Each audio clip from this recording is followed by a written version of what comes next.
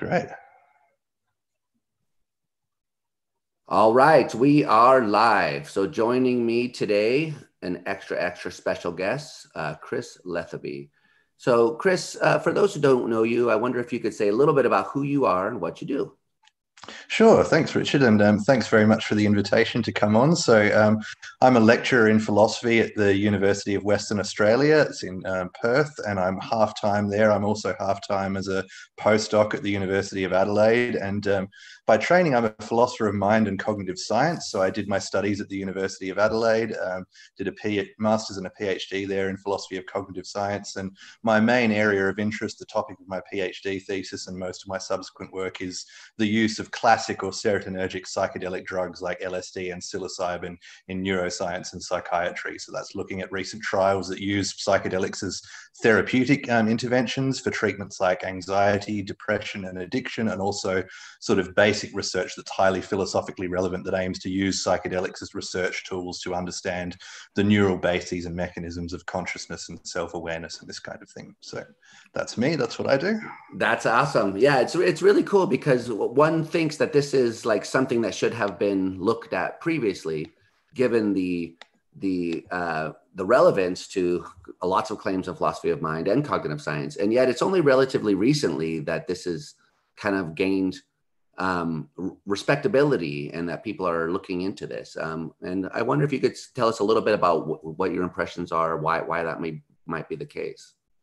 Sure, yeah. So, I mean, psychedelics, like a lot of psychedelics, occur naturally. Um, DMT, mescaline, and psilocybin occur in various plants and animals and have histories of medicinal and religious use going back at least centuries, quite probably millennia in various cultures, but they really only came to the attention of the Western world and also of modern science in sort of well, to an extent, in the late 19th, early 20th centuries, there was some interest in mescaline, um, but really it was after Albert Hofmann discovered LSD in the 1940s that scientists became seriously interested in these drugs. And so there was a, a wave of research for about 15 or 20 years, I guess, from the, um, well, yeah, from around 1950 to around 1970 when psychedelics were a hot topic and an extremely respectable topic of research in neuroscience, psychiatry, and various other disciplines. Um, philosophers never really caught on to a great extent, which is interesting. There were a few people. There was um, J.R. Smythies, the philosopher and neuroscientist back then, who was involved in some of the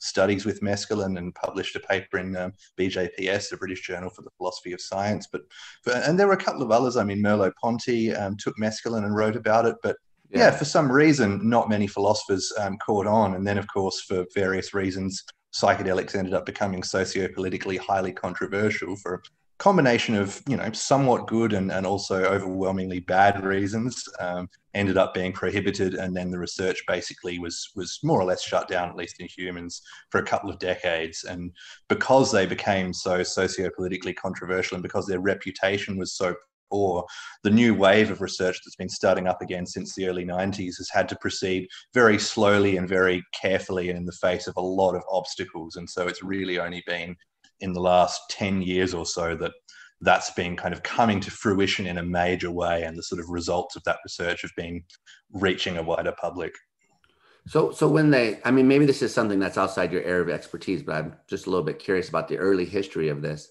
uh, so when LSD was first discovered, I mean, I, I had heard that it had been um, sort of pioneered as a um, truth drug or something like that, and for interrogation purposes.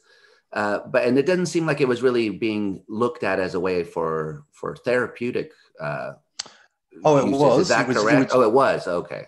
Yeah, yeah, it was studied for just about anything you can imagine back in the 50s and 60s. Oh, so yeah, the CIA infamously had the MK Ultra program in which they wanted to see if it could be used as a, a truth serum or a brainwashing agent. But there were all sorts of other research programs. So you know, the main one was the sort of psychotomimetic paradigm, the idea that these drugs induce experiences that are similar to naturally occurring psychoses, if not identical. And so by studying their mechanisms of action, we can learn something about the biochemical bases of mental illness and the very fact that a drug like LSD could have such dramatic effects on consciousness in such minute doses was really crucial in confirming that there is such a thing as the biochemical basis of mental illness. You know, it played a role in kind of confirming that serotonin is involved in regulating mood and cognition and so on. Um, but so that was sort of the initial thought is that these drugs are psychotomimetics. But then um, as they continued to conduct the research and administer them to people into various um, conditions under various circumstances, they noticed that you didn't always get these stereotypically psychotic reactions, right? Sometimes you would get people having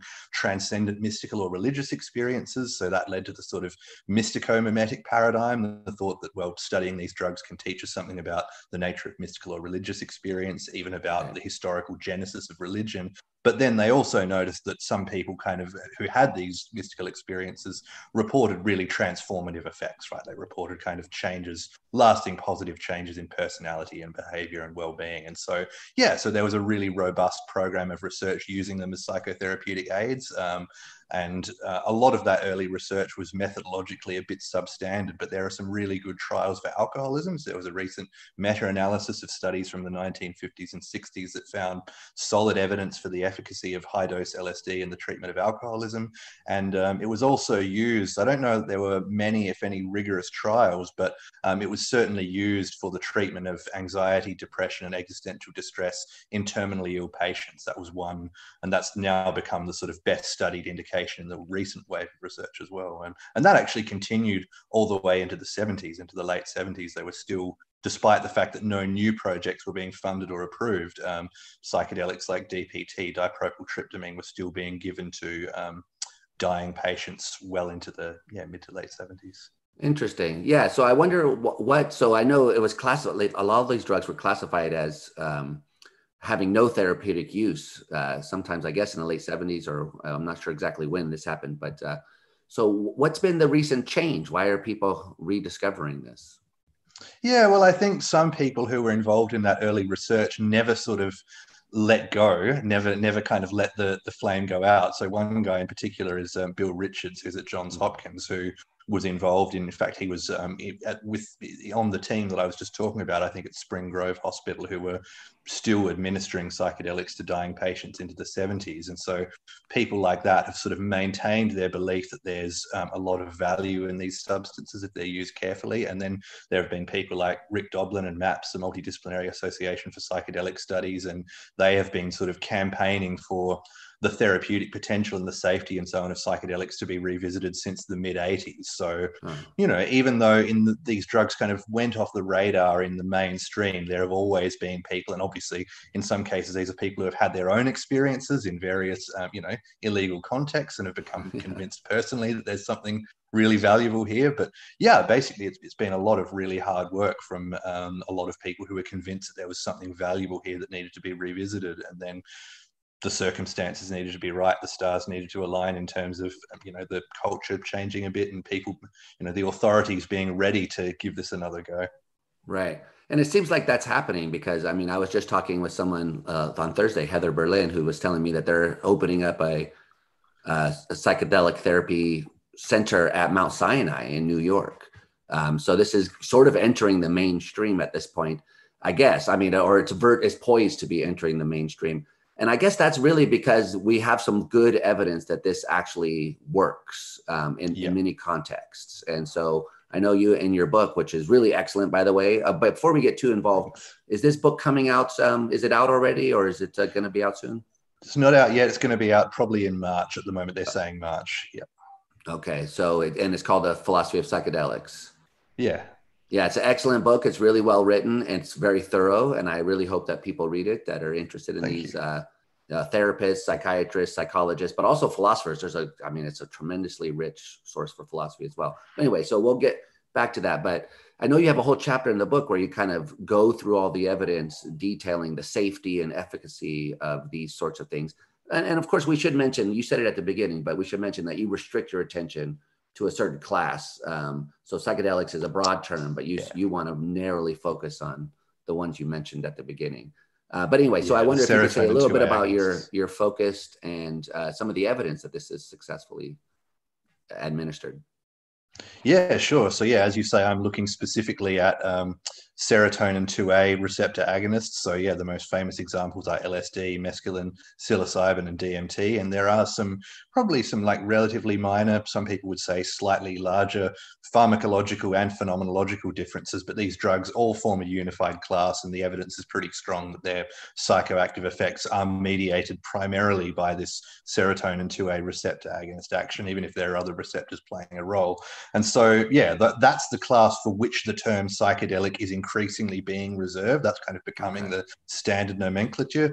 Um, they're also known as um, classic psychedelics, serotonergic psychedelics, serotonergic hallucinogens.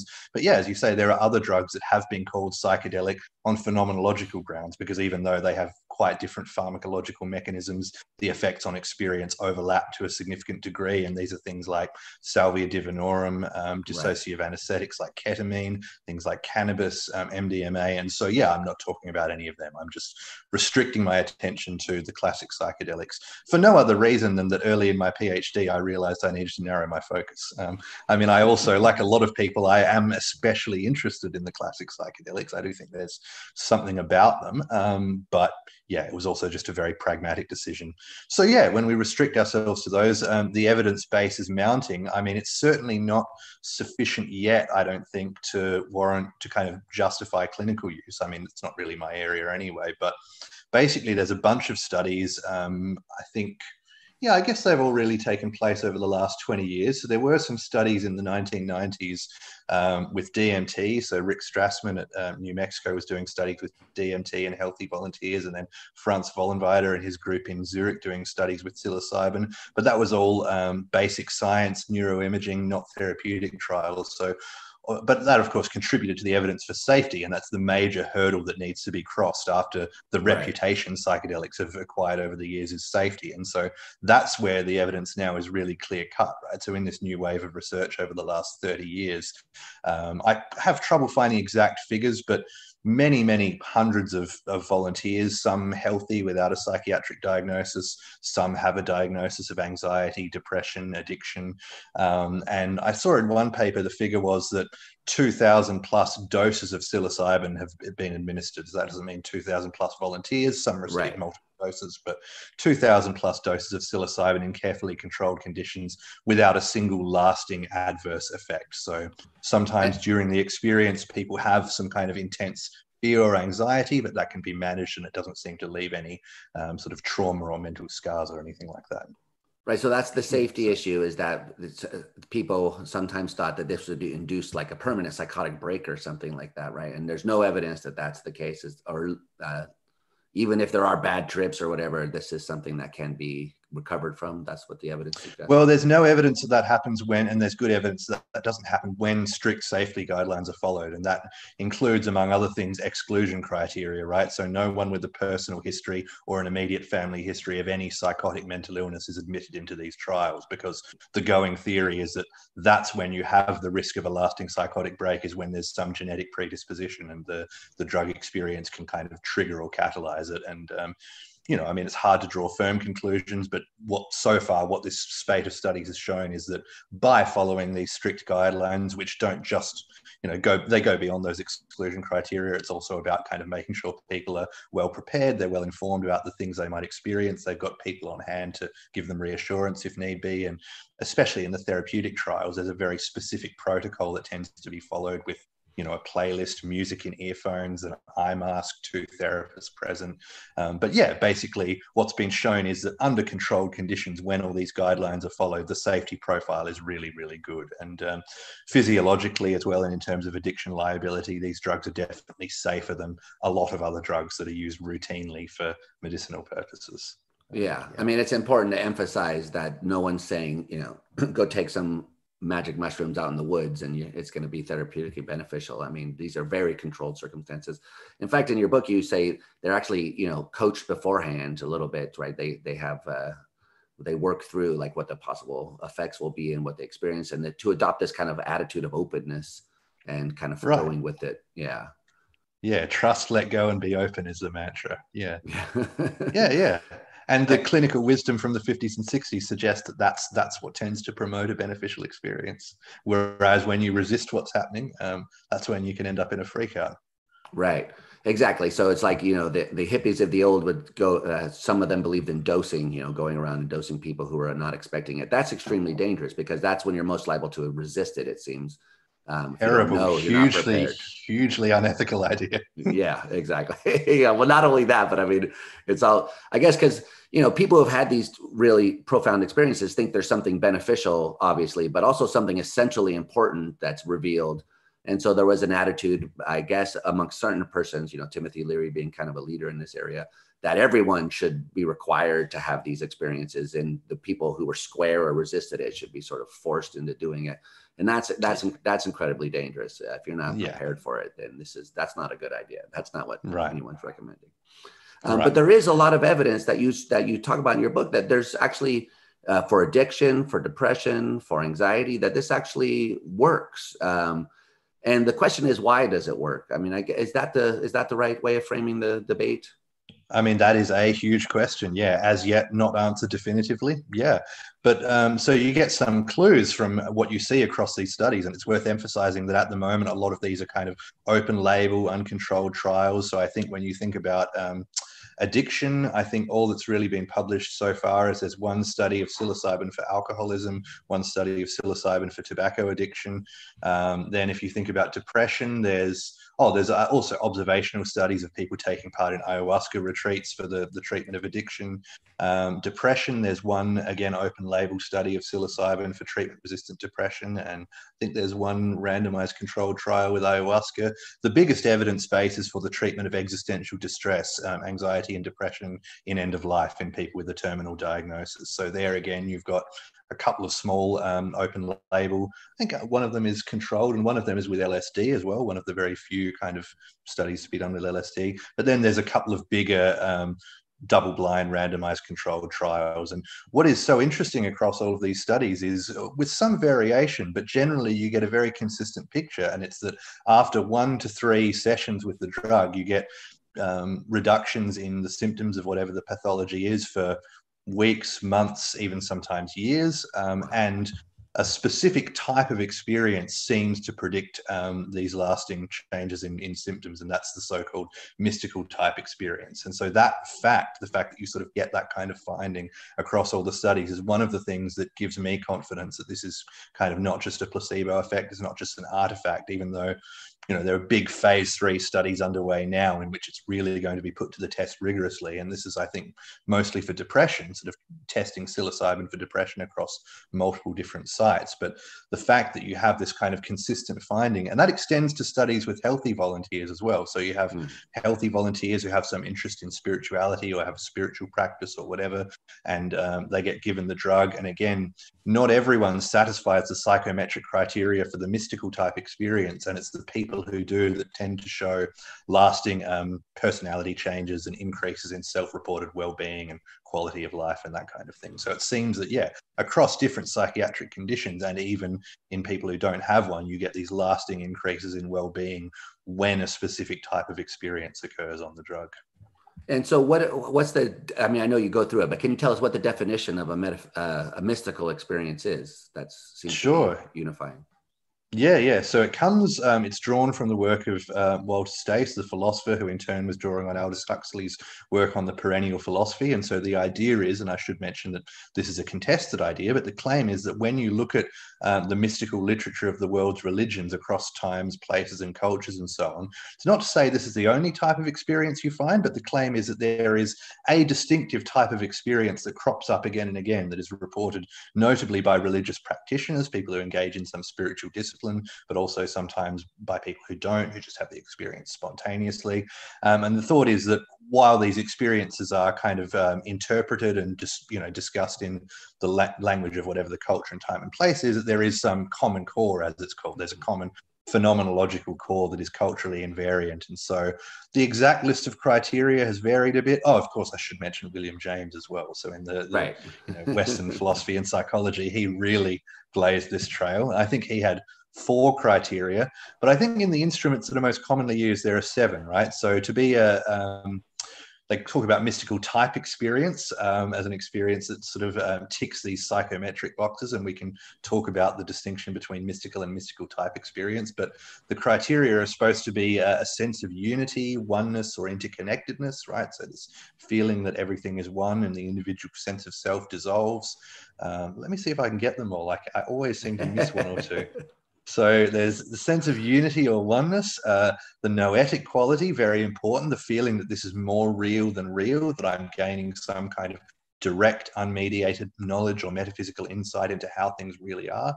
Um, paradoxicality, so people tend to talk in mm-hmm. language that sounds contradictory. They talk about um, an empty unity that was at the same time full and complete, things like that ineffability. They insist that the experience can't adequately be described in words before going on to this is a cliche, this is not my point, but or going on to talk about it endlessly. yeah, um, exactly.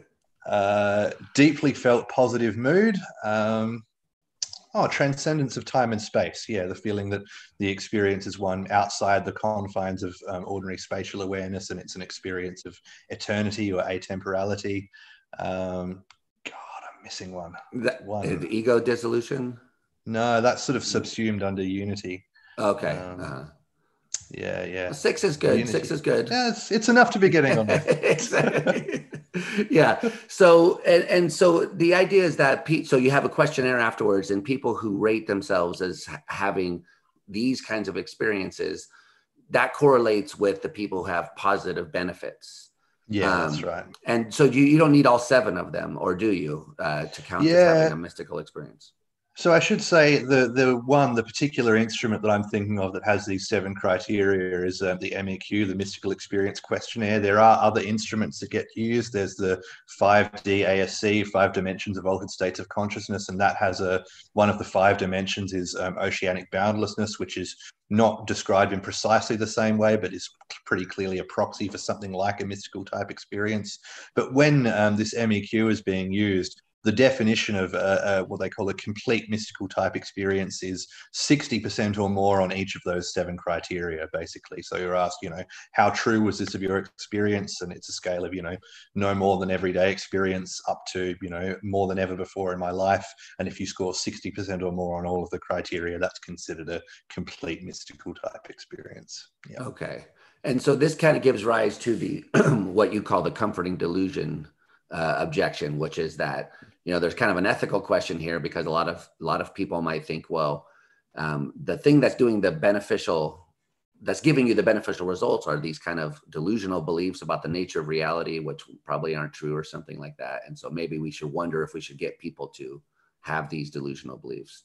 Um, and you you want to address this head on but can you say a little bit about what um, am i getting it right? And also what your strategy towards it is yeah, so that's right. And so it kind of becomes a problem if you're sympathetic to philosophical views like naturalism, physicalism, materialism. If you think that the natural world is all there is, that um, the mind is purely physical, it's in some sense the activity of the biological brain or body. And so you think there is in reality no such thing as a cosmic consciousness or a divine transcendent le- level of reality or, or, or, something like that because it looks on the face of it like as you say what is going on here especially when you look at its use in end of life care where people are anxious about their um, impending mortality you give right. them the drugs and some of them have this transcendent mystical experience and their fear of death seems to decrease dramatically it reconciles them to their impending death and so if you're sympathetic to naturalism or materialism or whatever the obvious uh, sort of thing you think is, well, it's a comforting delusion. These are experiences, they're having this intense hallucinatory experience. Owen Flanagan calls it a metaphysical hallucination, which I think is a great phrase. Um, so it looks like, yeah, the drugs are inducing not just um, physical hallucinations that the wall is breathing and there's geometric patterns on everything, but at high doses, they induce metaphysical hallucinations that you know we are one with the divine ground of being with the cosmic consciousness which underlies the universe and then people come back and they have this belief that you know who I this body that I you know is going to die. That's not who I really am. Who or what I really am is this eternal, infinite, kind of timeless, divine reality. And obviously, in the face of death, that would be a very comforting belief, especially if it were backed by this noetic quality. If it was something that had the kind of overwhelming authority of kind of direct, immediate experience, it feels right. like waking up from the dream of everyday life into you know what has always been real and will always be real. And so yeah i mean as a, as a naturalist this looks worrying to me because i think the arguments are pretty good that consciousness is just created by the brain there is no cosmic consciousness. And so yeah as you say there's this worry um, that it looks like we're treating psychiatric disorder by um, inducing comforting but implausible metaphysical beliefs yeah, I mean, some people actually do endorse the, I guess, veridicality of these beliefs. I mean, I know some people who are idealists. I mean, they're kind of vocal on Twitter, but one of the main reasons they're idealists is because of psychedelic experience. That's not the only reason to endorse idealism, I guess I'll say, having talked with some serious idealists. But at least there's a tradition of people saying, you know, that we should take these um, these things seriously. And you're suspicious of that move, right? Uh, I am, yeah. Although you know, I, I, I come and go on this. I'm on the fence sometimes. I mean, I was an idealist in my misspent youth, um, ah. and uh, you know, I, I have a colleague here at UWA, Miri Albahari, who's currently engaged in the project of trying to formulate and defend what she calls a perennial idealist metaphysic, which very much is the type of metaphysic that people come away from these experiences talking about. For Miri herself, it's got no psychedelic basis whatsoever. It's based in Aldous Huxley, the perennial philosophy, and all this stuff. But yeah, so mm. there definitely are people, and there's a lot of them in the psychedelic sphere who say, um, take it at face value. It's real. It's not a metaphysical hallucination. It's a metaphysical revelation. Um, yeah, absolutely. But yeah, I'm suspicious of that. I do think, on balance, um, physicalism is is probably um, a more plausible view. And I think that partly because I presume we'll get into this at some point, but partly because I think I've got a really good error theory for the cosmic consciousness experience. I think I've got a really good, and it's not really my original idea, but the more and more I think about it, the more and more it makes sense. A story about why and how these experiences might come about, even if the corresponding metaphysical view were not true, even if physicalism were true. But that's the worry. So the worry is that, um, you know, naturalism is true and um, psychedelics work by they bring about their therapeutic and transformative effects by inducing non-naturalistic metaphysical beliefs and this is something we should care about. We should care about the epistemic status of um, therapies so this looks like a problem for psychedelic therapy. And so there are these different ways you can respond. You can either say well naturalism is false you can go the cosmic consciousness idealist route or you can say well who really cares? It's not you know the epistemic status is not that important as long as it kind of really benefits people and that's you know that's a crude kind of rendition but that's sort of the owen flanagan george graham view they talk about these experiences and say look you know the benefits are so great that really, um, you know, the kind of epistemic qualms pale in comparison. Um, so you can go one of those two ways, or you can accept the conclusion. And what I'm trying to do is, yeah, uh, offer an alternative, a different way of responding that sort of hangs on to the idea that naturalism is true and hangs on to the idea that we should care about the epistemic status of therapies, but still ends up giving basically a, an okay verdict for psychedelic therapy. Right, and the general part of the general strategy is to argue for what Lisa Bortolotti calls the epistemic innocence of these kinds of things, and I think that's a really c- cool strategy. Um, so, uh, first of all, can you tell us what that what she means by that, and how um, how it's going to play into your defense?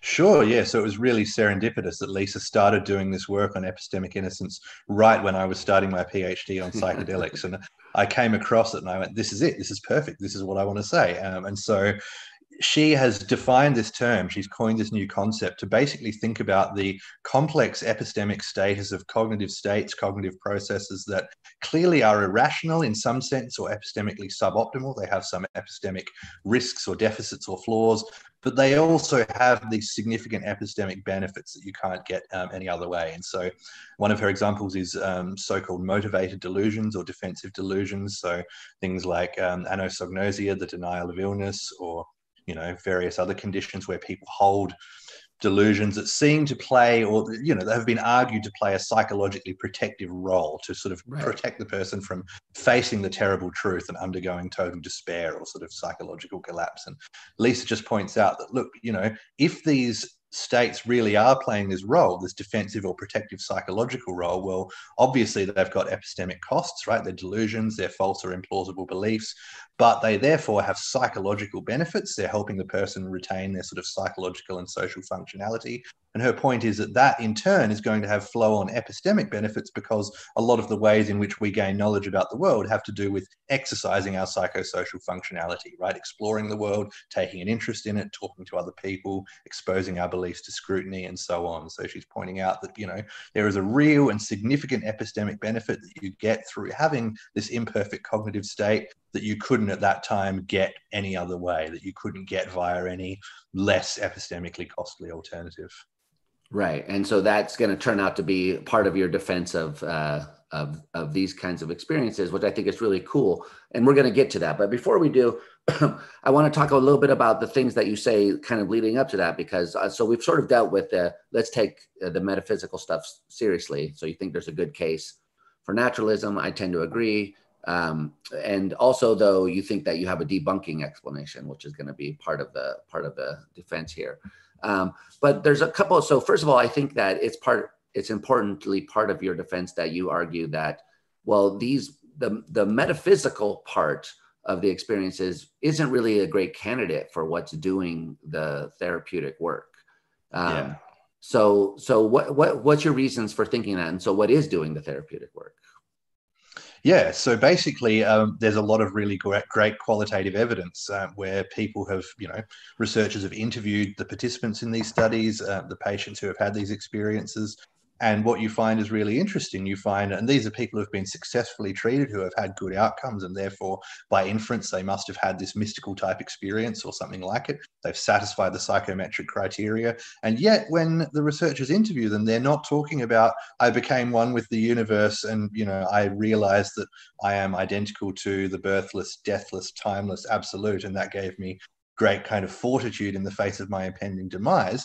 I mean, some of them say something a little bit like that, and some of them are talking about, you know, an encounter with God or a union with God or a vision of a deity. But you get these other things that come up much more consistently, which are things like a sense of connectedness, right? So obviously mm-hmm. that's kind of related to the sense of unity and the mystical type experience, but it needn't be unity with any kind of divine reality or cosmic consciousness. In a lot of cases, it's just a sense of feeling profoundly connected to other people, to all of life, to everything on earth, to the cosmos, the natural world as such. Um, people are talking about psychological insights or experiences of autobiographical reframing, kind of coming to understand um, things in their own life, aspects of their own personality and psychology. People are talking about um, emotional catharsis, intense emotional experiences, and coming to accept and feel their full range of emotions, all the way from kind of um, fear and terror to sadness and despair, and you know things that they previously would avoid or shut out. So people are talking about all these sorts of things, and you don't really get this clear signal coming through that what is doing the work is having a newly acquired or strengthened belief in the existence of some transcendent metaphysical reality. And so my reasoning is really simple. It's just that when people do have that classic sort of mystical experience where they do kind of experience oneness with the the timeless absolute, the cosmic consciousness, they talk about it, right? They really rave on and on about yeah. it. Um, and so uh, my thought was, if these people were having that kind of experience, they would be talking about it. And since they're not, we can conclude they might be having something that shares some elements with that. But my thought is that basically these psychometric constructs of mystical type experience and oceanic boundlessness, from the fact that those sort of psychometric boxes have been ticked, you can't infer that someone has actually had a classic mystical experience in the sense of union with some divine reality that was felt to be kind of undeniably or unquestionably real.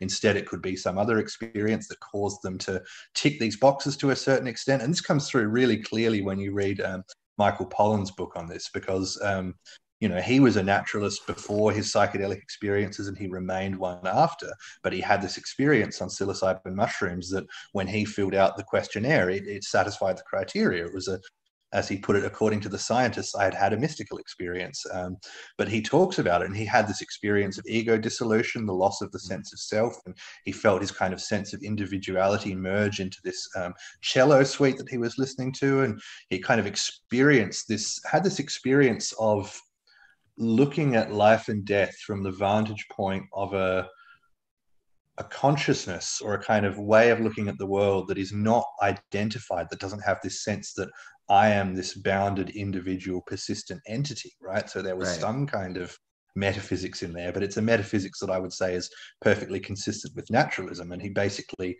said that, you know, this helped him to understand how you get this phenomenon of people kind of ticking the boxes for a mystical type experience but still staying atheists it's because what is relevant and what is therapeutic and what is transformative about these experiences isn't necessarily the belief in a, um, another metaphysical reality right. I does, didn't he also say about that though that that he thought maybe this suggested that this was a bad way of uh, of determining what mystical experiences are since he said he had one according to the criteria but he didn't really feel like it was one no he said that of one of his other experiences he oh, also had this yeah he had this really intense experience on 5-meo dmt which is a very potent naturally occurring psychedelic that often people smoke and it's kind of zero to oblivion in um, 10 seconds and right. people often talk on, on, this drug about having these real sort of unitive pure consciousness type experiences and basically michael pollan had a really bad experience it was kind of terrifying ego dissolution on 5-meo dmt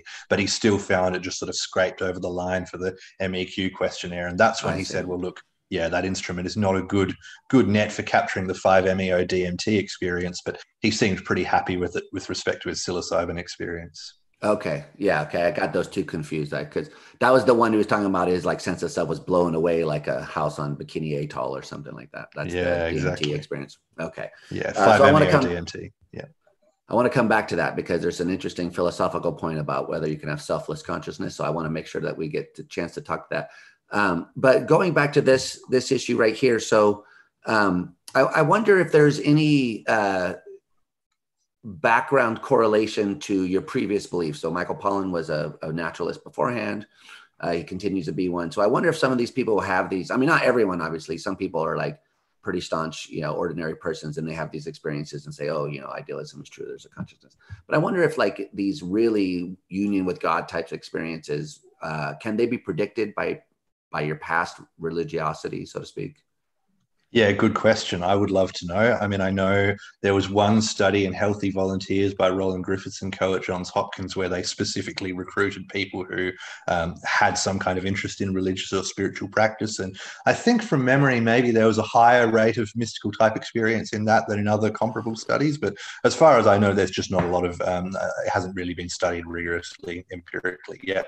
I wouldn't be surprised. I mean, as you say, it's important to realize that it's not going to be a perfect correlation. There are these really striking stories where people are staunch atheists, materialists, naturalists, and they become, you know, have have one psychedelic experience and become an idealist or whatever. But right. yeah, I would I would not be surprised if there was some correlation. Yeah, I mean, people people are making the same point about. There's a couple of recent studies showing increases in things like nature relatedness. Um, you know, the sense of relate being related to nature or connected to nature after a, a, psychedelic experience, and others showing decreases in authoritarian political leanings. And this is the response that a lot of people have: is you know, is this just bringing out tendencies that were already there, especially given the likely personality profile of people who are going to volunteer for these studies. And I think that probably accounts for some of it, whether it accounts for all of it. Um, I don't know, but yeah. Yeah. Eh, because I mean, you might think something, I mean, so I had a similar kind of thought about the beneficialness of these therapies. It's like maybe there's a selection uh, bias going on here. The people who volunteer for the study might be already people who could benefit from it. So, um, it, I don't. Uh, is there? I mean, is there a, a kind of study that's just true double-blind random selection? I mean, that would be hard to to really get. There's always going to be a volunteer kind of thing going on. Exactly. Yeah, there are kind of there are problems you just can't ever ethically get around here because people always have to consent. They always have to volunteer. I mean, I think we're going to see more information as more studies and bigger studies are conducted, as these phase three studies of psilocybin, because just by the numbers, if you have to recruit hundreds upon hundreds of volunteers across multiple study sites, you're just of necessity going to get a bit more psychological and ideological diversity. But yeah, there's still always going to be that fun, fundamental limitation that you can only study the effects of psilocybin on people who want you to study the effects of psilocybin. Right. but is there have there ever been any studies that um, that uh, double blind the choice of hallucinogen. So you you're getting one, but you don't know if it's psilocybin or LSD or uh, have they have yeah. they done those kind of studies? Yeah, there have been some. Um, I don't know about, so I think there were one or two back in the 60s and 70s where they blinded the choice of classic psychedelics, say psilocybin, LSD, and so on. Um, I tried to track one of them down. I remember reading one like that ages ago, and I tried to track it down the other day, but couldn't. Um, in the modern era, I'm not aware of any like that, but there have been ones where they've double blind um, compared classics in contrast classic psychedelics with other drugs. There are some where they um, so there's a recent one where they did um, LSD, MDMA, and um, some kind of straight amphetamine, methamphetamine or something. There was another one, I think, back in the 90s where they did something similar with psilocybin, um, amphetamine, and it wasn't MDMA, but it was another entactogen, another very similar drug to MDMA. So, yeah, yeah. but none in the recent research that uh, double blind compare one serotonergic psychedelic to another that I'm aware of. Yeah, interesting because we might think that the um, phenomenology is is different between the cases, and we might get different effects, especially with related to natureness and stuff like that. But uh, yeah, so that's interesting. Um, but so I, I, think there's an interesting case. So I think what we were talking about previously to get us sort of back on that track was that there's an interesting case to be made. I think I was convinced by it actually by reading your book that the the uh, metaphysical, the comforting delusion part it's not really clear that those things are doing the therapeutic work. Um, yeah. But then there's the the flip side of that, which is that you might think that the phenomenology itself doesn't play any role in doing that. It may be some kind of molecular, you know, uh, thing. The phenomenology comes along for free, but it's not really the the sort of vehicle for driving the change. Um, yeah. And that is a kind of response that you find in the literature, right? Yeah. And yeah, so absolutely and your argument against that sort of approach is um, yeah is, is basically just the robust correlation between this specific type of experience and the lasting benefits. I mean it might seem a bit naive or simplistic but i just don't really see how you can account for that. Um, on the kind of pure the view that it's all due to just like molecular level processes of neuroplasticity? Because if that were the case i would have thought that the effect you should get should be strictly dose dependent. It shouldn't kind of depend on what particular profile of subjective effects you happen to get on any given administration which as we know does vary quite a lot. But there is this uh-huh. strong correlation. It's when you get this experience where the sense of self dissolves and you have some kind of insight and feeling of connectedness why would that be? Why would that correlation exist if um, it were all going on at some kind of sub experiential level? And I think there's more you can say. I mean, I focus specifically on that in the book, but I mention in passing the fact that that's really consilient with other things we know, right? So, for instance, we know that intense um, experiences, intense conscious experiences, can have lasting and dramatic psychological effects can reconfigure personality. And the obvious um, proof of concept is PTSD. So some people call psychedelic therapy a kind of inverse PTSD. It's a kind of incredibly overwhelmingly intense emotional experience, but the valence is positive. And so similarly, it's so intense, it's so memorable. You keep going back, you keep revisiting it, and that profoundly restructures your psychology, but in this case for the better. And so given that the experience that's induced is described you know people very often rate these experiences among the five most personally meaningful and spiritually significant events of their lives and they right. say this was as important to me as being with my parent when they died or the, the birth of my first child or something like that so it almost beggars belief that you could think an experience like that wouldn't have some profound lasting psychological effect. I mean, that's not to say there isn't some uh, part of the effect that's being caused outside consciousness as well, but you you would just expect, sort of a priori, as it were, that if you induce an experience like that, that's going to have psychological effects. And then you've also got the fact that you know naturally occurring, spontaneously occurring, non drug induced mystical experiences, near death experiences are all, I mean, it's anecdotal, you can't study it in a controlled way really, but are all widely reputed to have these transformative effects. There are so many stories of people kind of right. just completely turning their lives around after having one of these experiences spontaneously. So I, I, wonder, you don't talk about this specifically that I remember in the book, but I wonder about the, if there's any work done on the so-called microdosing um, which you know was I, I guess semi-popular amongst certain people for a little while, like enhancing creativity. You take just a little bit, you don't feel like the experience or anything like that. But uh, so the the because one the what made me think of that was that the evidence that you talk about that this is kind of dose independent. So some people who take a moderate dose, they have this transcendent experience, they have benefits. Some people take a large dose, they have this some people take a large dose, they don't have that experience, so then they don't see the, the benefits. So what seems to be relevant there is the experience independent of the amount of dosage that you have. But I wonder if you could have, you know, if you microdose, you don't notice any effects at all, and you have some benefit, then that might be an argument against the uh, phenomenology working. So I wonder if there's anyone that's ever looked at that or something along those lines. Yeah, so I mean, um, double blind RCTs of microdosing are only just starting to come out. I think there's maybe two that have been published now. I've sort of looked at them in passing, but I haven't really um, paid that much attention to microdosing yet. I think because until recently, I just really was very agnostic as to whether it was just a placebo effect or not. Right. Um, now, what the new studies seem to show is that it's not. There do seem to be real effects from these like really low doses, like 10 micrograms of LSD. I can't remember offhand exactly what they were. I think there was some kind kind of profile of mixed, you know, some like increase in creativity, but also a slight increase in anxiety or something like that. But yeah, I mean, um, if you certainly, if you got comparable therapeutic effects from um, a microdose and from a mystical type experience, um, that would be remarkable. That would be mind blowing. But then if you didn't, that wouldn't really tell you anything because obviously the dose is so different. Um, right. So, the person, the non-experientialist, if you will, the person who thinks the um, therapeutic effects are not experientially mediated, is not going to be impressed by that. They would predict that. Um, right. Yeah. So to really test this, then it seems like really kind of difficult because what you'd have to do is somehow induce the cellular molecular changes without the experience. Um, right. And so that what seems I'm... like almost like not, if not impossible, extremely difficult. Right. So, what I'm really interested in is there was a study um, published a couple of years ago in which it was shown that all these classic psychedelics have these kind of um, immediate pro neuroplasticity effects in cultured mammalian neurons. Um, they kind of promote the growth of dendritic arbors and all these things. And um, there's this drug that has been a sort of um, puzzle for a while because it's a selective serotonin 2A agonist, like the classic psychedelics, but it's not psychedelic. It you know seems to have barely any psychoactive effects. And my understanding of the current thinking on that is that they recruit different intracellular signaling pathways. So they kind of mm. bind to the same receptor in different ways and cause a different pattern of responses inside the neuron. And that's what then leads to changes in neuronal behavior that cause a trip and those that don't.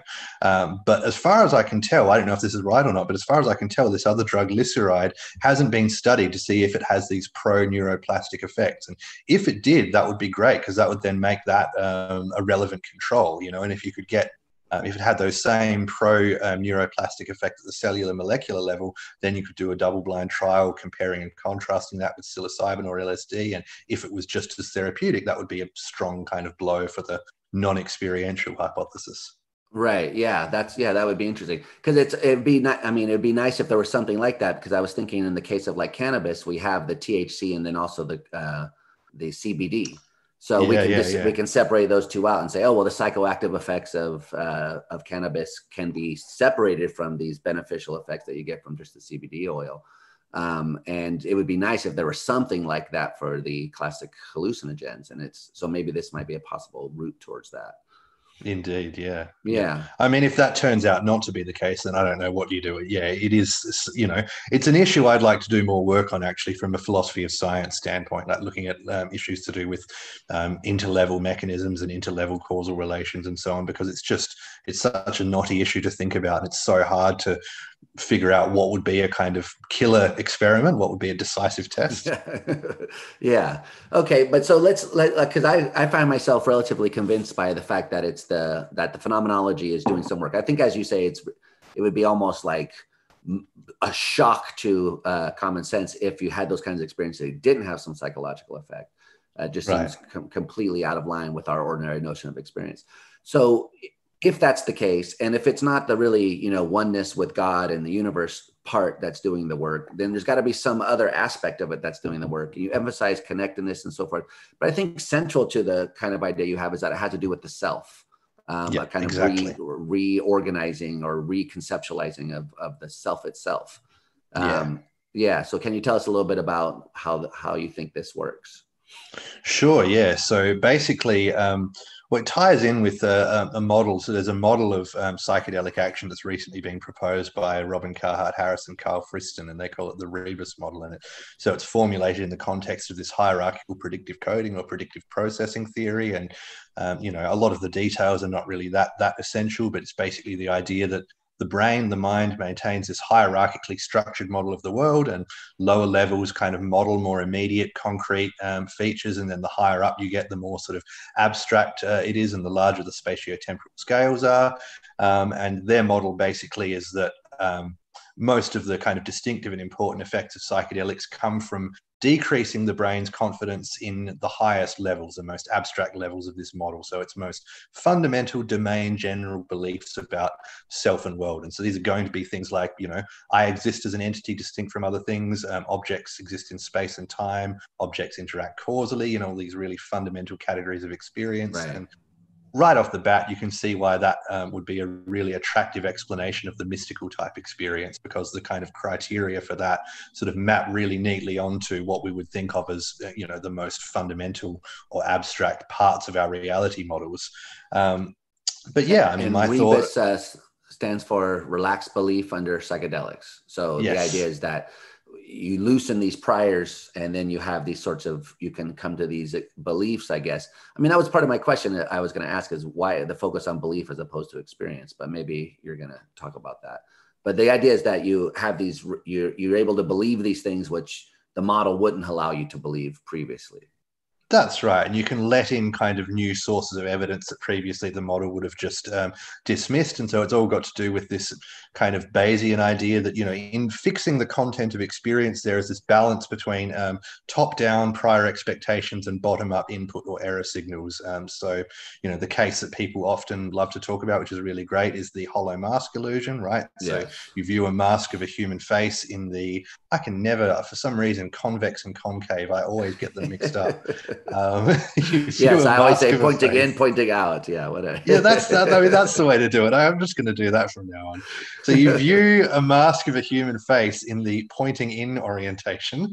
Um, it's got to be concave, doesn't it? Because it's like a cave. Um, yeah, there you go you view a mask of a human face in the concave orientation, but it pops out and you see it as convex. And the explanation is that your brain is so confident, it has such a heavily weighted prior belief that human faces are convex that it just ignores the sensory evidence to the contrary, right? So there's always this balance between how confident am I in the prior belief and how confident am I in the driving input signal, the error signal, the source. So it's kind of the brain is constantly sort of meta representing the reliability of all of its own sources of information, whether they be top down prior expectations or, or bottom up kind of signals from the world. And so the thought is that um, this sort of dynamic can explain you know, it's not proposed as kind of a unifying theory or whatever, but that this kind of can account for a lot of what goes on in a lot of psychiatric pathologies. So if someone is addicted, then, you know, the further and further they go into this particular sense of who they are, um, the less and less they become able to um, really attend to or take seriously information that conflicts with that. And they might, right. you know, so Hanna Pickard has just published a paper on this on addiction and the self. Phil Gerrans, my colleague, um, talks about this a lot as well. That you know, often an addict is really unable to simulate vividly for themselves and really kind of connect with it this sense of a possible future that doesn't involve um, addiction to this substance or this behavior or whatever. And of course, the phenomenon is very familiar from um, things like depression and anxiety. These conditions are characterized by these core beliefs about the self that I am unworthy, that life is hopeless or meaningless, or that, you know, I'm constantly under threat. Um, and these beliefs, because they're kind of heavily weighted beliefs about the self, the brain assigns a high degree of confidence to them.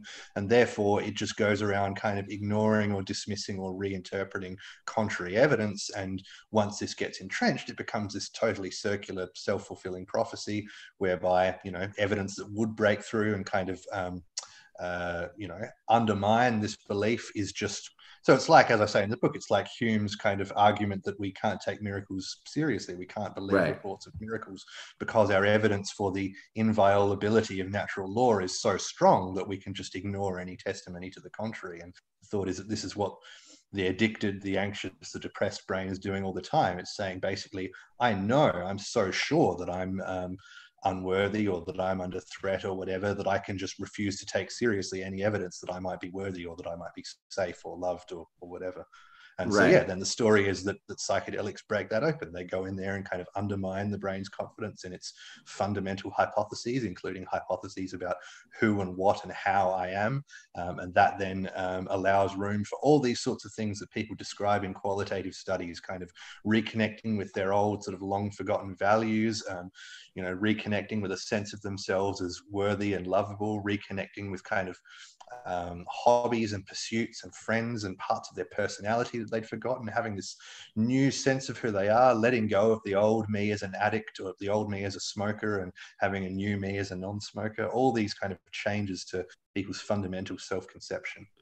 Right. So uh, there, was a interesting, you quote this guy in the book who says, you know, I felt like I died as a smoker and I was, I came back as a non-smoker. And that's kind of like encapsulates the basic the thing you're saying, which is that they they revisualize themselves in a way that they couldn't previously because of these priors. Right. And it's interesting how many people describe the psychedelic experience in those terms as a death and rebirth experience. There's one that I'll never forget from the, the 60s, this book by Masters and Houston, The Varieties of Psychedelic Experience. And was this guy who was just suicidally depressed. And he was basically, he was going to do it. He had made his plans to take his own life before, so it's a while since I read it now, but somehow or other he, um, you know, ended up having this LSD session. And as he described it, it was a total death and rebirth. And that old person who wanted to die did die. And he said afterwards that in some sense that needed to happen one way or the other. Um, that wow. person who he was before was going to die. And then once that had happened, then he could be somebody else. Um, wow, that's, that's, yeah, that's powerful.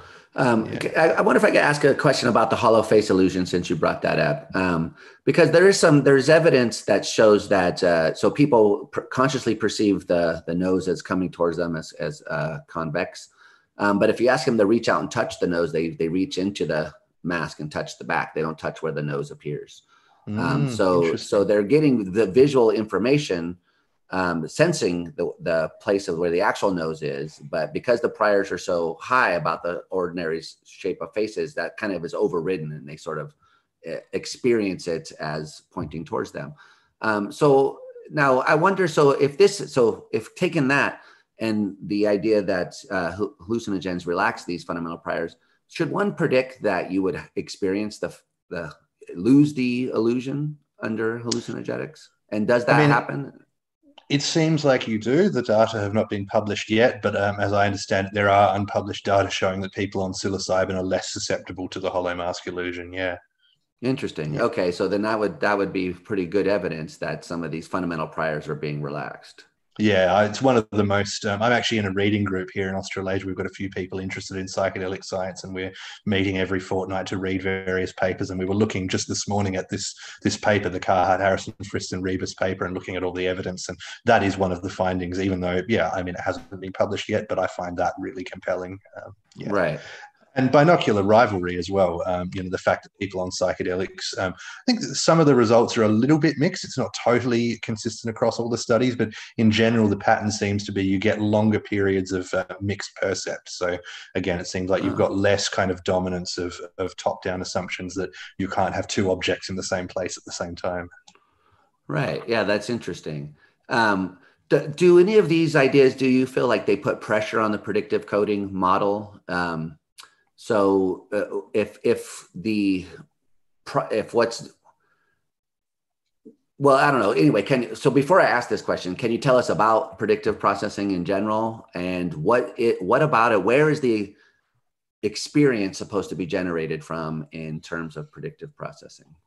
Yeah, so that's a hell of a question. So I should yes. say, just to start out, um, I, am not au fait with the technicalities at all. I don't understand the maths. Uh, my grasp of the theory is uh, what we might politely call conceptual.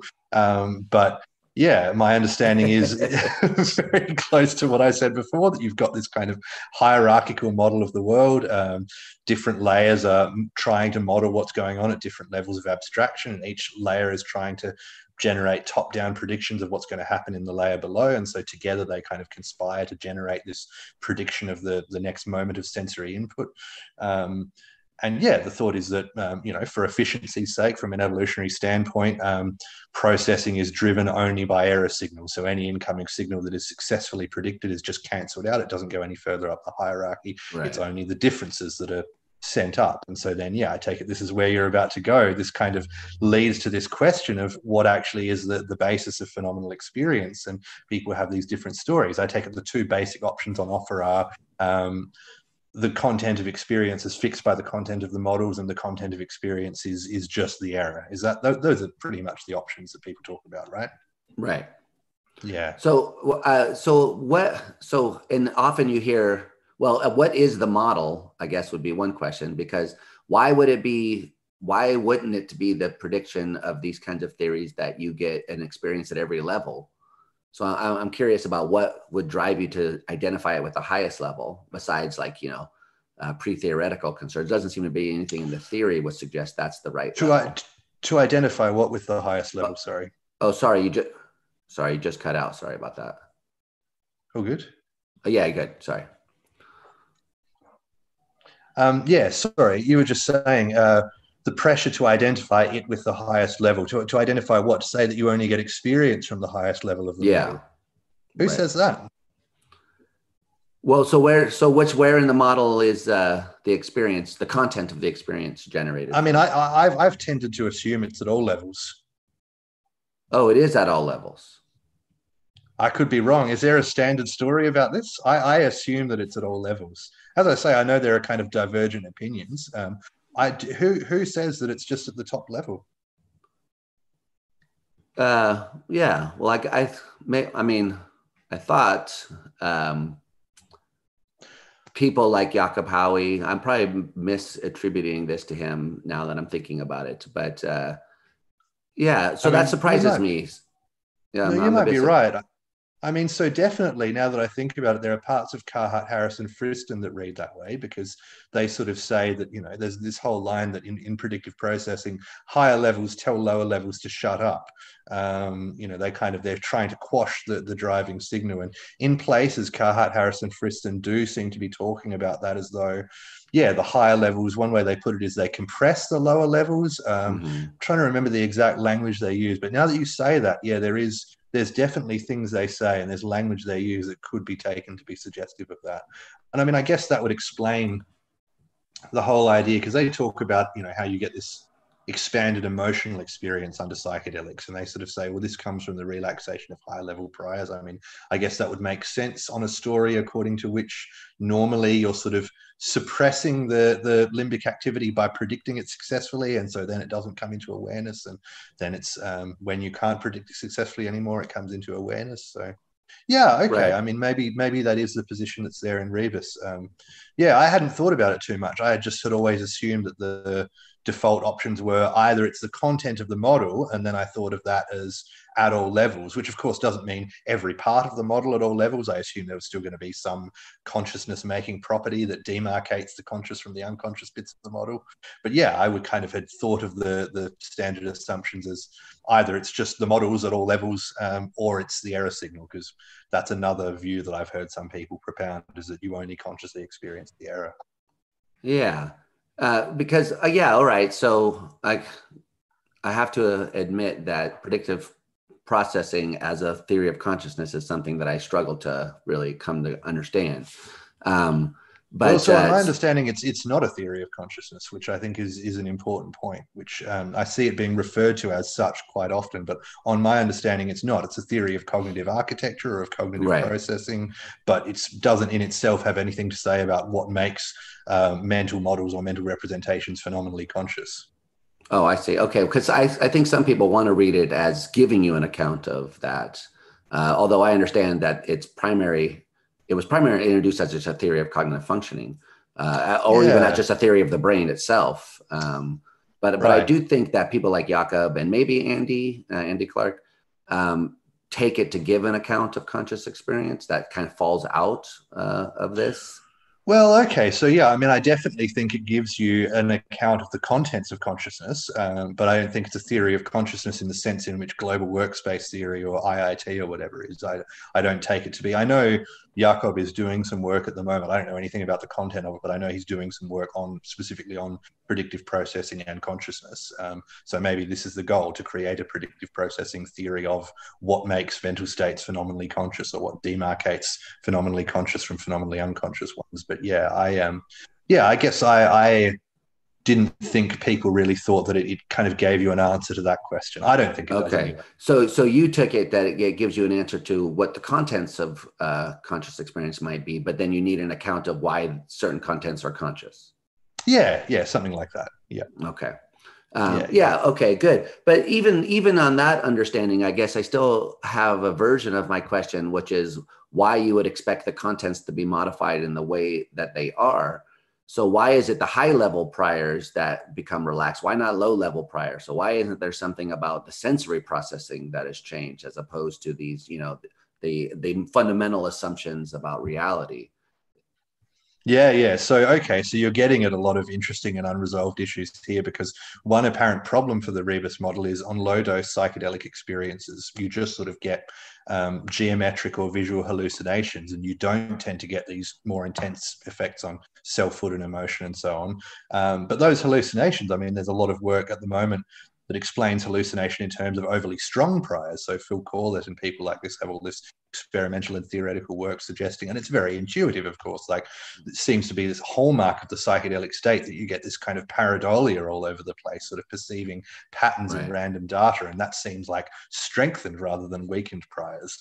Um, so there is a puzzle here, and there's you know Carhart-Harris, and Friston say something about this in the Rebus paper, but I don't know if there's sort of a fully satisfactory resolution. I mean, part of the answer that they give, um, and I have to defer to them um, on this, um, is that basically this is where the serotonin 2A receptors are densely expressed. So, in a number mm. of hmm. papers, Carhart Harris has said you, you, get these. So, I know that these uh, are most densely expressed on the apical dendrites of layer 5 pyramidal cells, uh, but in terms of the specific regions, um, in a number of papers, Carhart Harris says, well, they're most densely concentrated in these kind of higher level multimodal um, association areas. And so that would explain why you're having effects on the high level rather than the low level priors.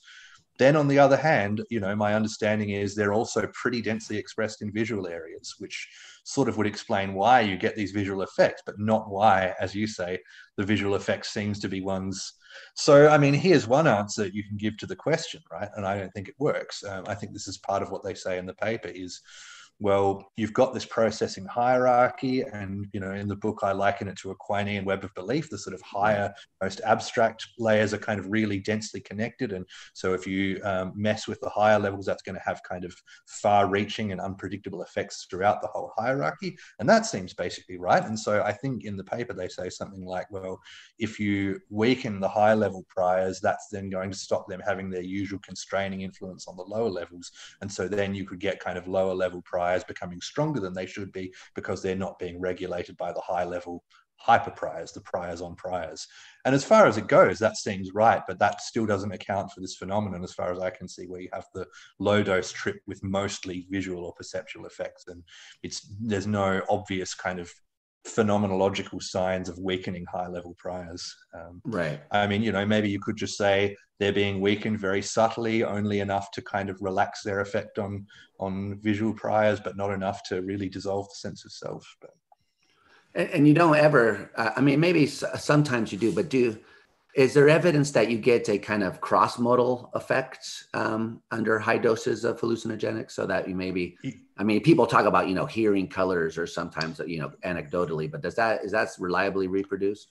Oh yeah this is a very common psychedelic effect. Yeah my understanding is it doesn't meet the criteria for synesthesia proper but yeah these cross-modal interactions are almost like kind of one of the the main hallmarks of the psychedelic state. And the main one is um, uh, auditory visuals. So when people are tripping and they're listening to this music, they have this inc- incredible visions that sort of move in time with the music, and the content and the tone of the visions is strongly affected by by the music. Um, yeah, that's the most common one. I think you get others as well, but.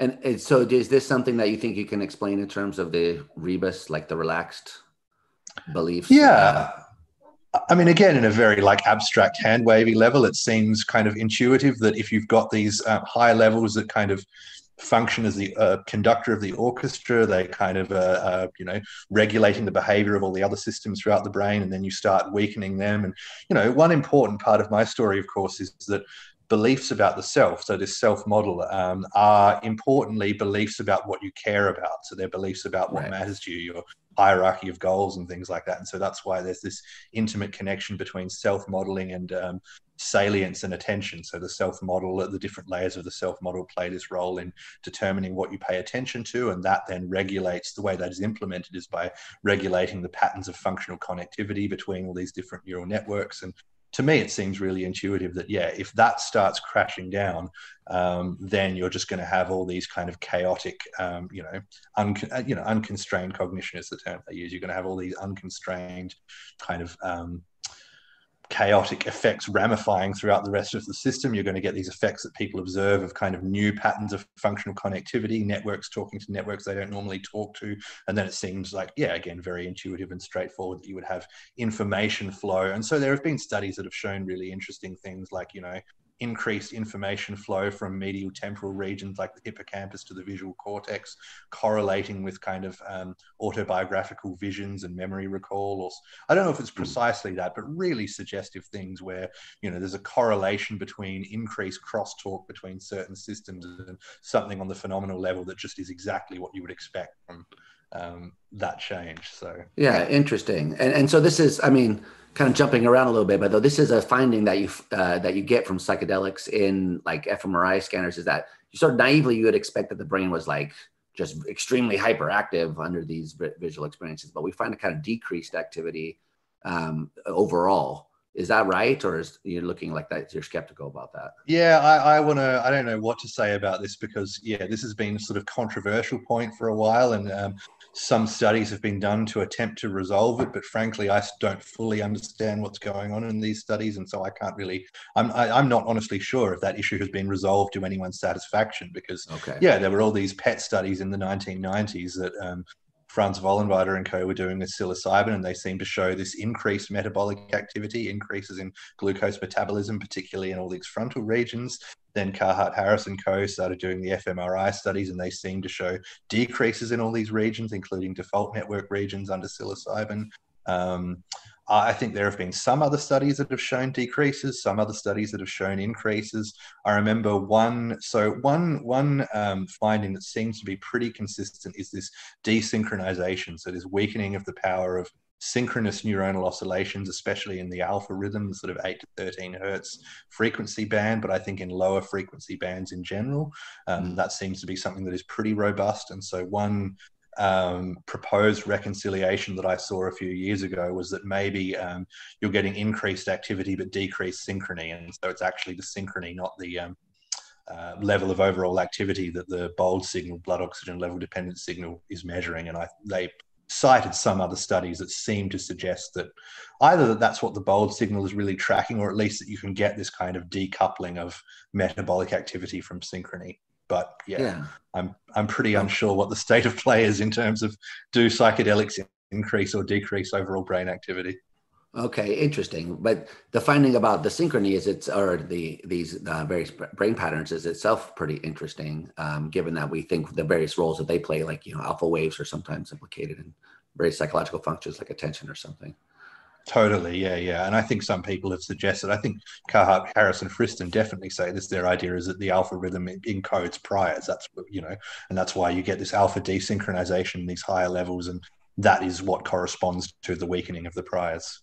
Oh, interesting. Okay. Yeah, I wasn't aware of that. Um, okay. So you mentioned the default mode network, and you also talk a lot about the salience network. so I wonder if you could just tell us a little bit about these networks and what why you think they're important for your specific uh, way that you want to address the comforting delusion objection.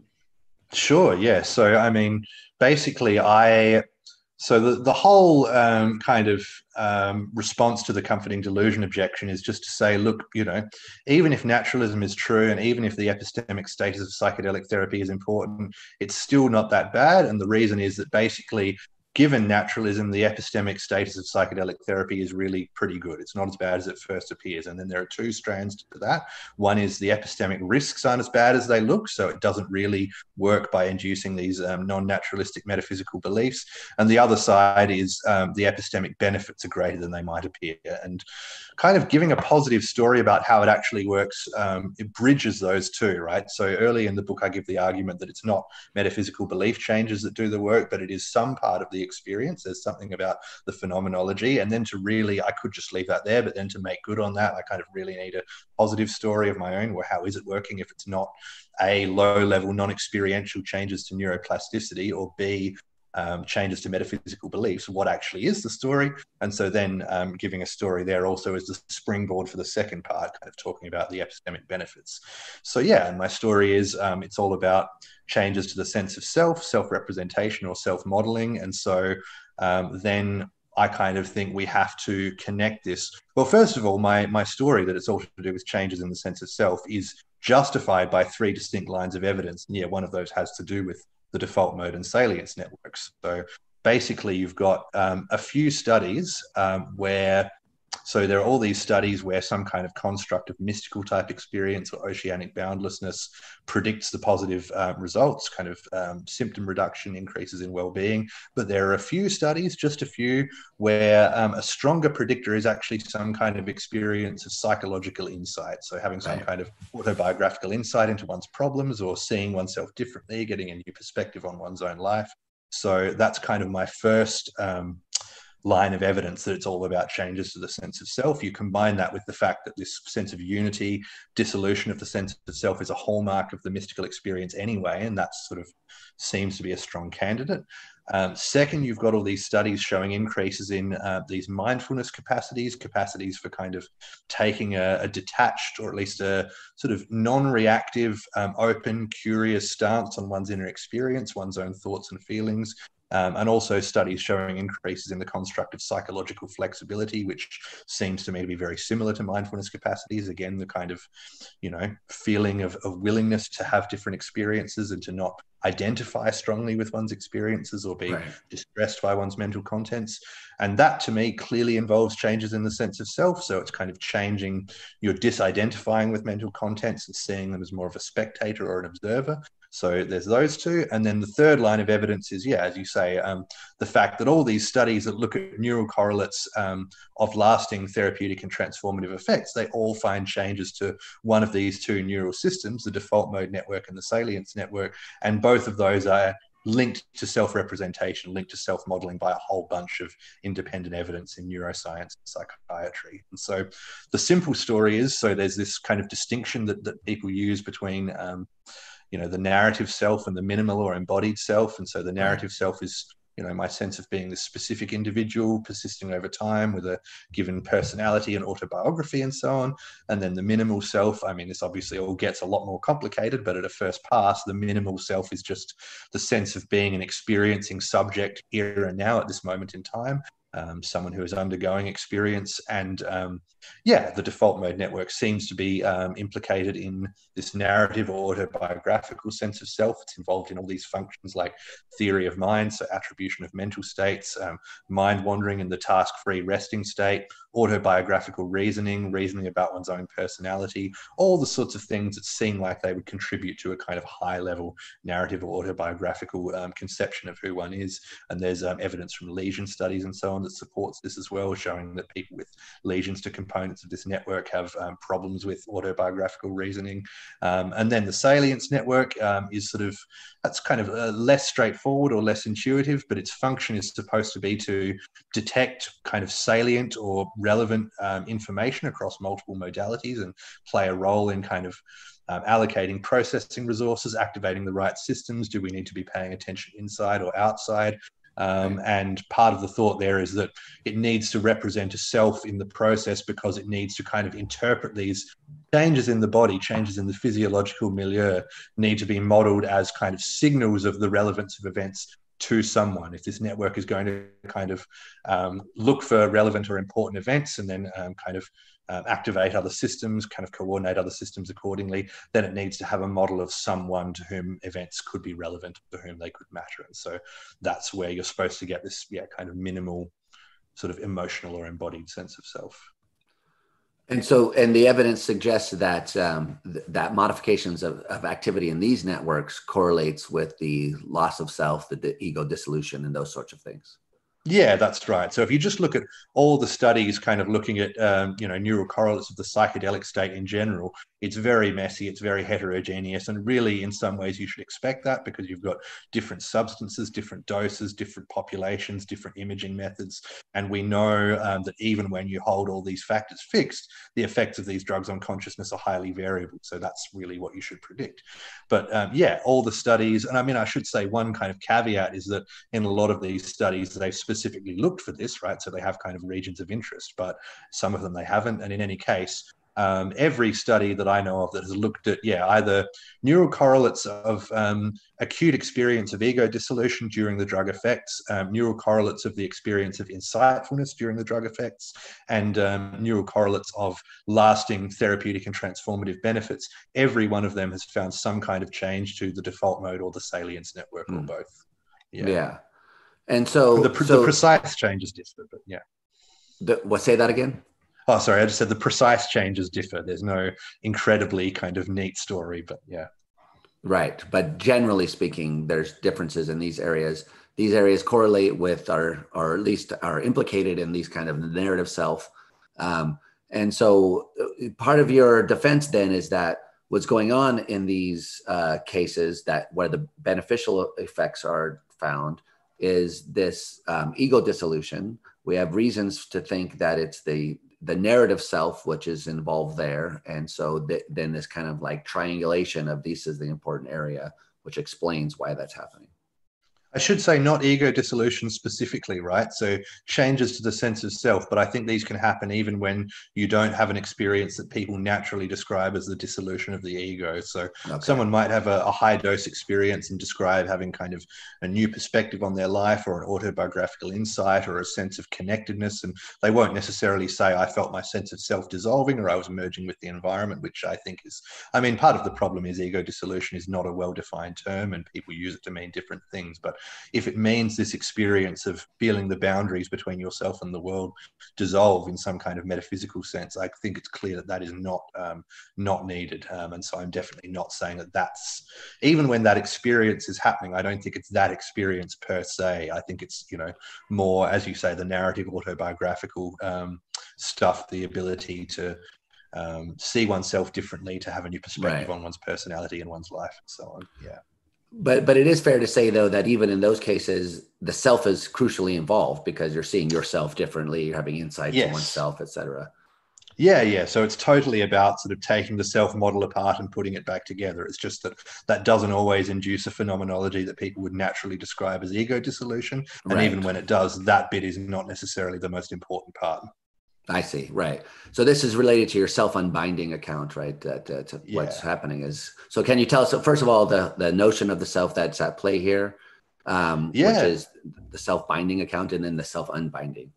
Yeah, yeah. So it's all in the context of um, hierarchical predictive processing again. And so I developed this um, account um, in collaboration with Philip Gerrans. And really, I've got to say, he understands the technicalities a lot better than I do. Um, but yeah, Phil, um, I sort of uh, worked with him a bit when I was at Adelaide Uni, and he's done all this great work on um, you know, basically the neurophilosophy and the cognitive neuroscience of delusions and all of these different psychiatric conditions.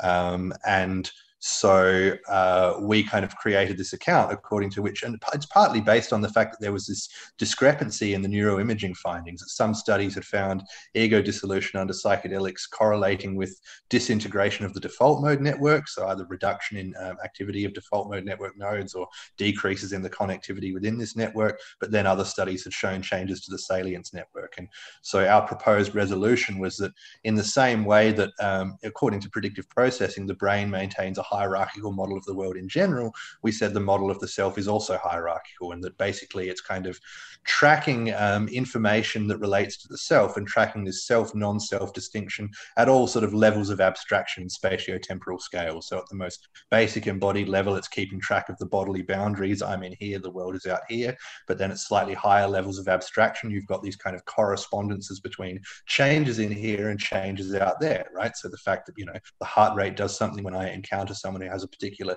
significance to me, or when I kind of, you know, basically when I encounter some situation outside of myself that has some significance for me, there are these consistent um, correlations between what's going on out there and what's going on in here. And so we said, well, at that level as well, the brain needs to kind of keep track of what's going on. And so it builds this model that says there's this entity that has particular goals and interests, and it predicts and explains the changes in the internal milieu in terms of the hypothesis that events, well, but inside and outside, but events right. are relevant to the goals and interests of this entity. And then at higher levels, still, it needs to kind of keep track of the really abstract patterns in this um, over the course of time in order to plan to enable social coordination and communication. And that's where you get this kind of narrative or autobiographical um, sense of self. And um, the reason we talked about binding is because, um, well, partly because there's all this work by Sui and Humphreys, these psychologists, basically showing that um, you know, there's this binding effect, sort of increased um, representational integration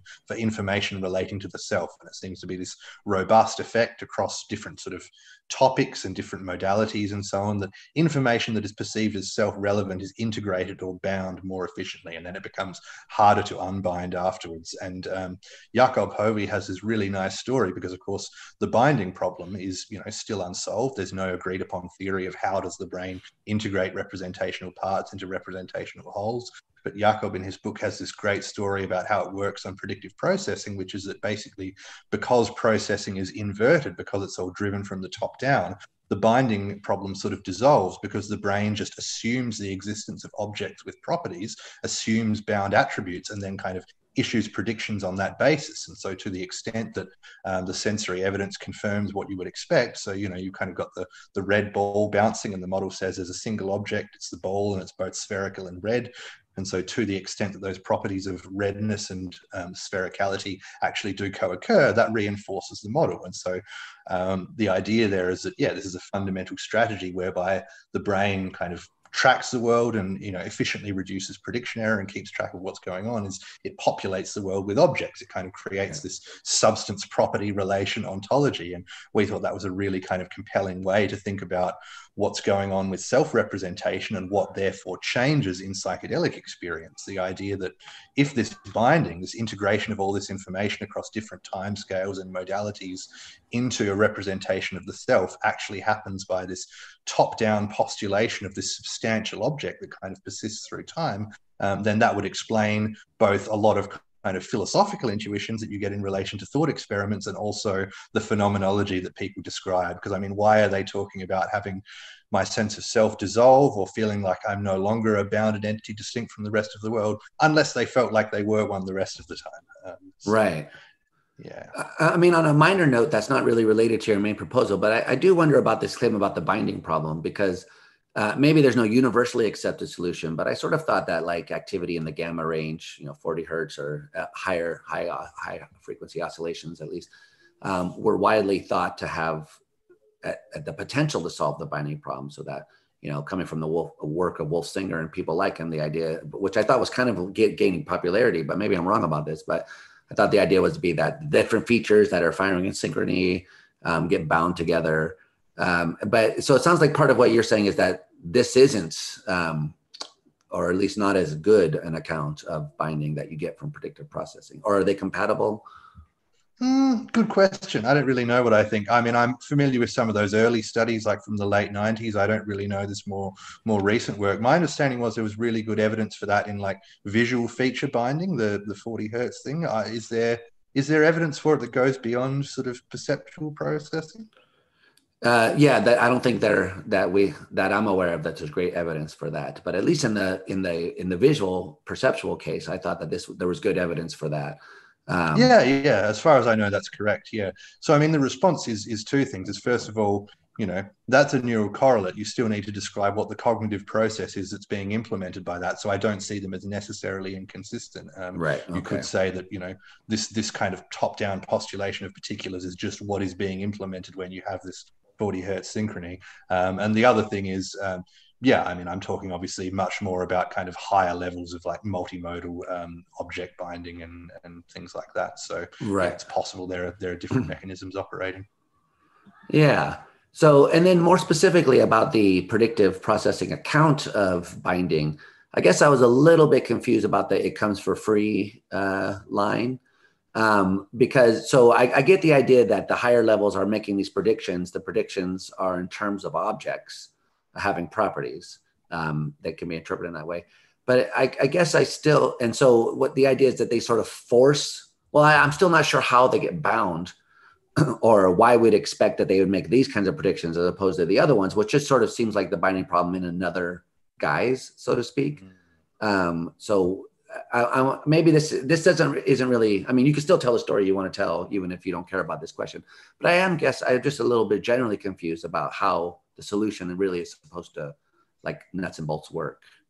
Sure. So, I mean, here's part of it. So, tell me if this makes sense, right? So, the way I understand it is that on the sort of older feed forward view, what might happen is you have some information comes in through the retina, and then kind of you get some activity going on in visual cortex, and you have like over here uh, a representation of some um, luminance and over here representation of an edge. And at some point you've got in kind of these relatively low perceptual areas separate anatomically separate representations of distinct perceptual features.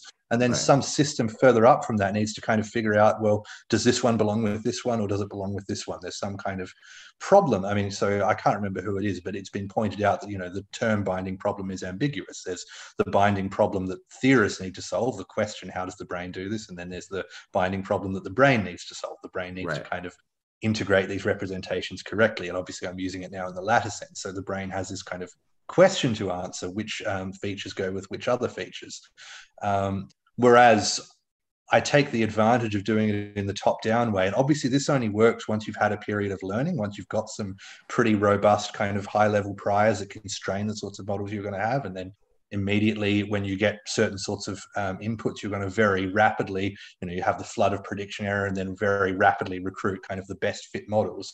But the thought is that if the process is being driven from the top down, then my brain doesn't have to kind of look at the look at the redness and the sphericality and decide well does the redness go with the sphericality or does the redness go with the shape of the chair it's already got a sort of model at higher levels saying you know because that's been selected that's the one that kind of is and maybe this is where you think that it's kind of cheating because yeah. you've still got the flood of prediction error that needs to recruit so is that the worry that you still have yes. to at some point recruit the, the right model right so yeah, I, okay, interesting. Yeah, I'm not really sure why how how you. I mean, you can build it in, but uh, it seems like it's the the coming for free part is being paid for at an earlier level, uh, at an earlier stage in the process. Which kind of at this point, I'm not exactly sure why you would get that model as opposed to a different one. Mm. Um, and uh, but anyway, so this is not really central to your main project, so maybe it's it's not really relevant, but. Um, I hope not, because I don't have anything very profound to say about it. It's an interesting. okay. okay. Yeah. So let's leave that aside then, because it it was just kind of a passing thought. But um, so let's get back to the idea that then. So what happens on your view is that so you have this the, the self binding, which is you take the by analogy what's happening in the perceptual case, and you say, okay, so you have a model of the self has these priors built into it. Um, and so that when those priors get relaxed, then you can come to view the self and have beliefs about the self which you couldn't previously have. Um, yes. And so that's the unbinding part that different aspects of these will come apart.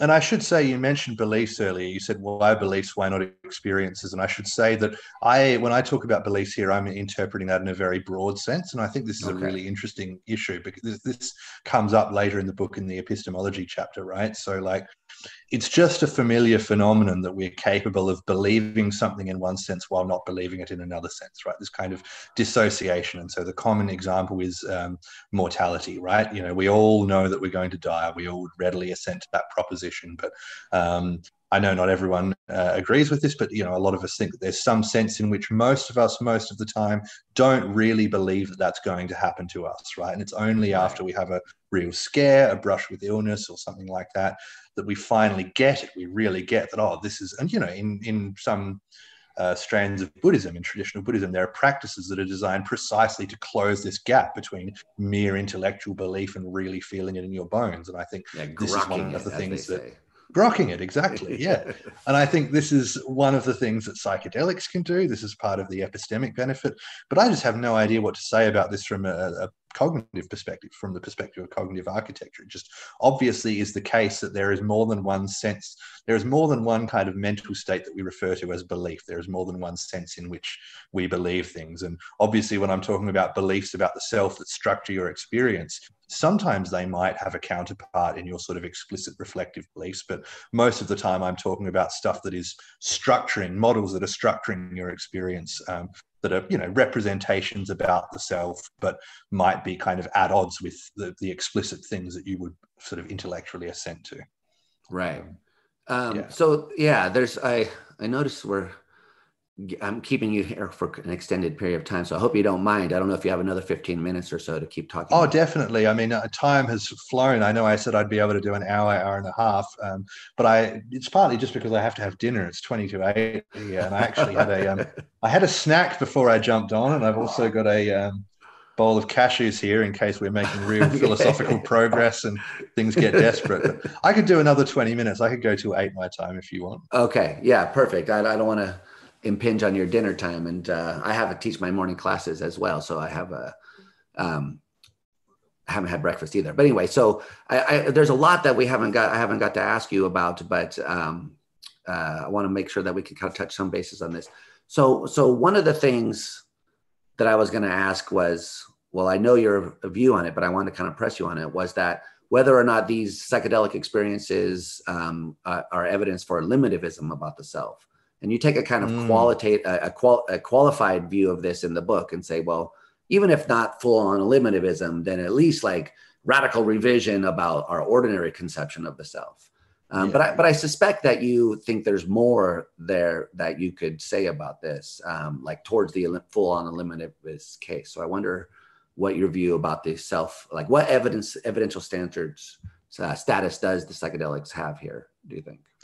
Yeah, I mean, I've actually become profoundly agnostic about this. I'm sorry to disappoint. I okay. used to be a, used to be a staunch no self theorist until I read that great paper by Tom McClelland that I cite in the book. Uh, that just really made me rethink the whole thing because I had, like so many people, been relying on this straightforward mismatch argument for eliminativism about the self. We represent the self as a certain type of entity no real entity matches the description, therefore the self is not real. And my jaw hit the floor when McClelland pointed out the straightforwardly obvious fact that that argument is invalid. I just right. it never never occurred to me before, but it's so obvious once it's pointed out that you can radically misrepresent something that nonetheless exists. Um, and so then it becomes really tricky because then, you know, obviously in some cases in the history of science, we have a, a, vast mismatch and the eliminative conclusion seems like the right one to draw, phlogiston, caloric, luminiferous ether. Um, right. And obviously in other cases, uh, there's a great mismatch and we don't go eliminative, we go revisionary. And so, um, you know, I wonder now whether I'd be really interested in any thoughts you have about this, but I wonder whether there are any principled criteria um, that tell us when we should go revisionary and when we should go eliminative. But I also increasingly suspect that it's a pragmatic question at most, that it's kind of a, a, a verbal um, dispute. I mean, it's you know convenient to decide that a dispute is verbal once you start losing it. But um, if you know, if McClelland and I both agree that uh, I don't know to what extent he does agree, but if we both agree that we represent the self as being an entity with all these properties, boundedness, persistence, free will, and so on, and that nothing in reality has um, the those properties. Well, I mean, you know, one of the things he does is he appeals to ideas about reference and ideas about de se representation. And Jakob right. Hohwy and John Michael did something similar. So at the same time, they kind of published a, a paper, a chapter on predictive processing in the self at the same time as Phil Gerrans and I published our paper. And the accounts were very similar. I mean, they differed in detail and emphasis, but very similar hierarchical predictive processing story about the self. Philip and I said there is no self. Um, Jakob and John said um, the self model itself is the self. And um, one of the reasons was it kind of plays some of the roles that the self is supposed to play. Um, and another reason, at least as I read them, I, it seemed like they were appealing maybe to the causal theory of reference, that like this self model that causes our behavior and so on that is kind of the thing that causes us to use this term I or me. So that's what the term is referring to. And so you need to, you know, it looks like if there is a principled way to do it, you need to get into issues in the theory of reference, um, issues about de se representation. But I don't even, I mean, you know, I don't want to be too controversial, but I don't even know if I believe in reference um, as some, you know, as, you know, as some real fact. I don't know if there is some kind of real fact in the world to be discovered about whether our self models really refer to the organism or the brain or themselves or fail to refer. Um, yeah. So yeah, I mean, in in in that chapter in the book, it kind of seems a bit like I'm dodging the question, and I think that's sort of what I thought I was doing at the time, making a pragmatic decision to shelve it and, and say that's not the most important thing here. But the more and more I think about it, the more and more I think maybe the question just dissolves. I see. Um, so, I mean, again, because I think, I mean, for someone like me, I'm sort of attracted to like causal theories of reference, um, causal historical, maybe teleosemantic, stuff like that. So, if you have a view like that, then there is going to be a kind of fact of the matter about what what we're picking out when we uh, think about the self. But if you have like a Quinean descriptivist view um, or something like that, then or then it's a lot less clear uh, when you're um, describing the thing when the thing satisfies the description. Now, if there's no thing that satisfies the description, then straightforwardly, I guess it can be really indeterminate. Whereas if there's a causal relation that really matters here, then you can radically misdescribe the thing and still count as thinking about it. So I think the McClelland yeah. kind of uh, objection depends on a certain theory of reference. Mm-hmm. Um, and so if you're agnostic about the theories of reference in general, then I think it, the argument doesn't really work, or it's good, you have to defend one. So, but what do you think, though, as someone who I understand has been very sympathetic to eliminativism about the self and is also sympathetic to the type of theory of reference on which the McClelland argument depends? Yeah. If you don't mind my asking. No, I don't mind the, at all. The, hot um, so uh, for, for me, um, I, cause I am sympathetic to eliminativism or yeah, neural nihilism, as uh, Evan called it. Uh, um, but it's with respect to a certain kind of thing. So, I, I, for me, one of the things that is the definitional of the self is um, an entity that stays the same through time and counts for personal identity. Um, and that's not necessarily the notion of self that you're interested in um, or that we're talking about in this discussion about psychedelic therapy. It's not really. Um, it does. You don't need to have an, a kind of metaphysically enduring or perduring or whatever you want, whatever your theory of, you know, existing through time is you don't need one of those things to, to get the benefits that we're talking about. You can do it with psychological continuity and those other types of things. Um, oh, yeah. So, so mostly I'm a eliminativist about the thing which exists through time.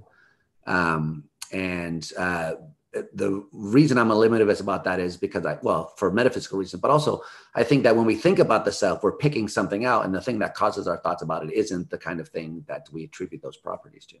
So that's how mm. I see the mm. two kind of going together. Is that you can that there is something that we're thinking about. That thing can be called the self um, in a deflationary sense, um, but not not the sense which there's nothing which stays the same over time. I mean, so that's why I can say, well, there is a deflationary notion of the self, but not in the way that we think about it. Um, the thing mm. that we think we're thinking about doesn't exist, but uh, we are picking mm. something out, a self model, so to speak.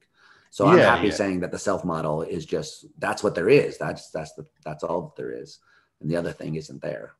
And for you, the self model is the referent of I, and it is the referent of our I thoughts and things like that. yeah. that. Right. Mm, and okay, in fact, I think something even kind of stronger that in a lot of cases when we're thinking of thoughts that have like the mental analog of the word I, um, the self is implicit there, and we're not really picking anything out unless someone forces us to. So mm. if you think, you know, I think this, then um, normally no one comes up to you and says, wait, who's this I you're talking about? Who is it that you're thinking about? Um, but if someone did sort of do that, then we would say, you know, this thing, me. And so I think that the very, the, the minimal notion is just the, the biological organism. Um, and then there's, you know, you can get past that. But it really, if someone challenge you like who is it that's having these thoughts? I know this happens in cases of like thought insertion and so forth but in the normal case that doesn't ever come up. No one ever mm-hmm. you know wonders who is it that's really having these thoughts?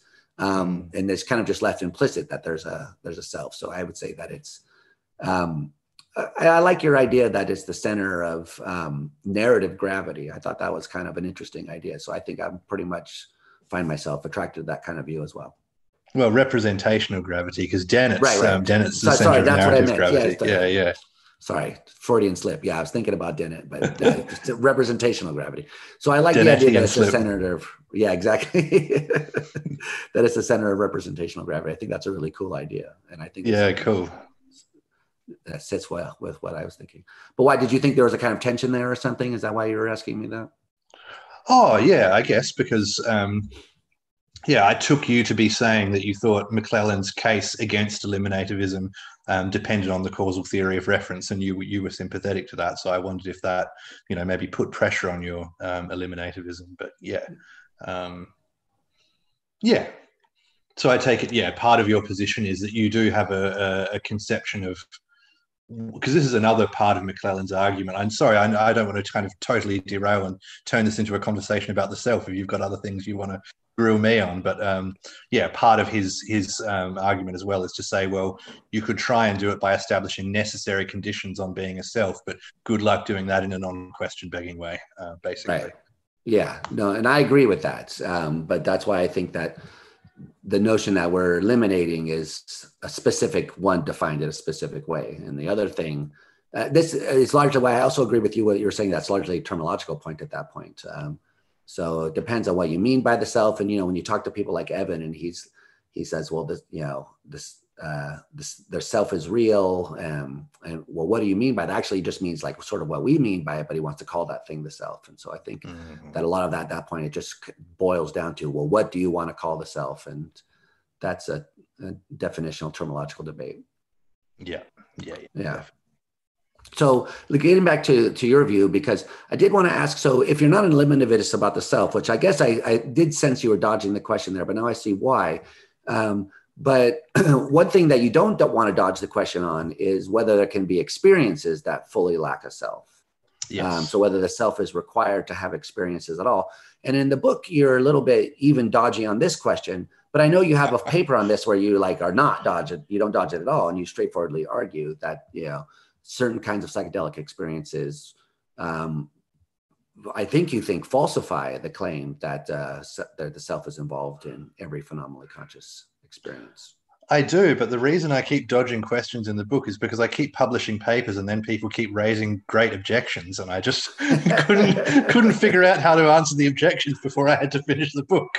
Um, so. okay, well that's that makes sense. But what? So what's can you tell us a little bit about the argument there and what the great objection is? Yeah, yeah. So I mean, it's very straightforward. So there is this claim that um, you know it's impossible to have um, phenomenally conscious mental states without any sense of self, and um, got a long history in philosophy. Um, according to those who have done their homework better than I have, it goes back to Aristotle. It's certainly in Locke and Husserl and some of these people in certain guises.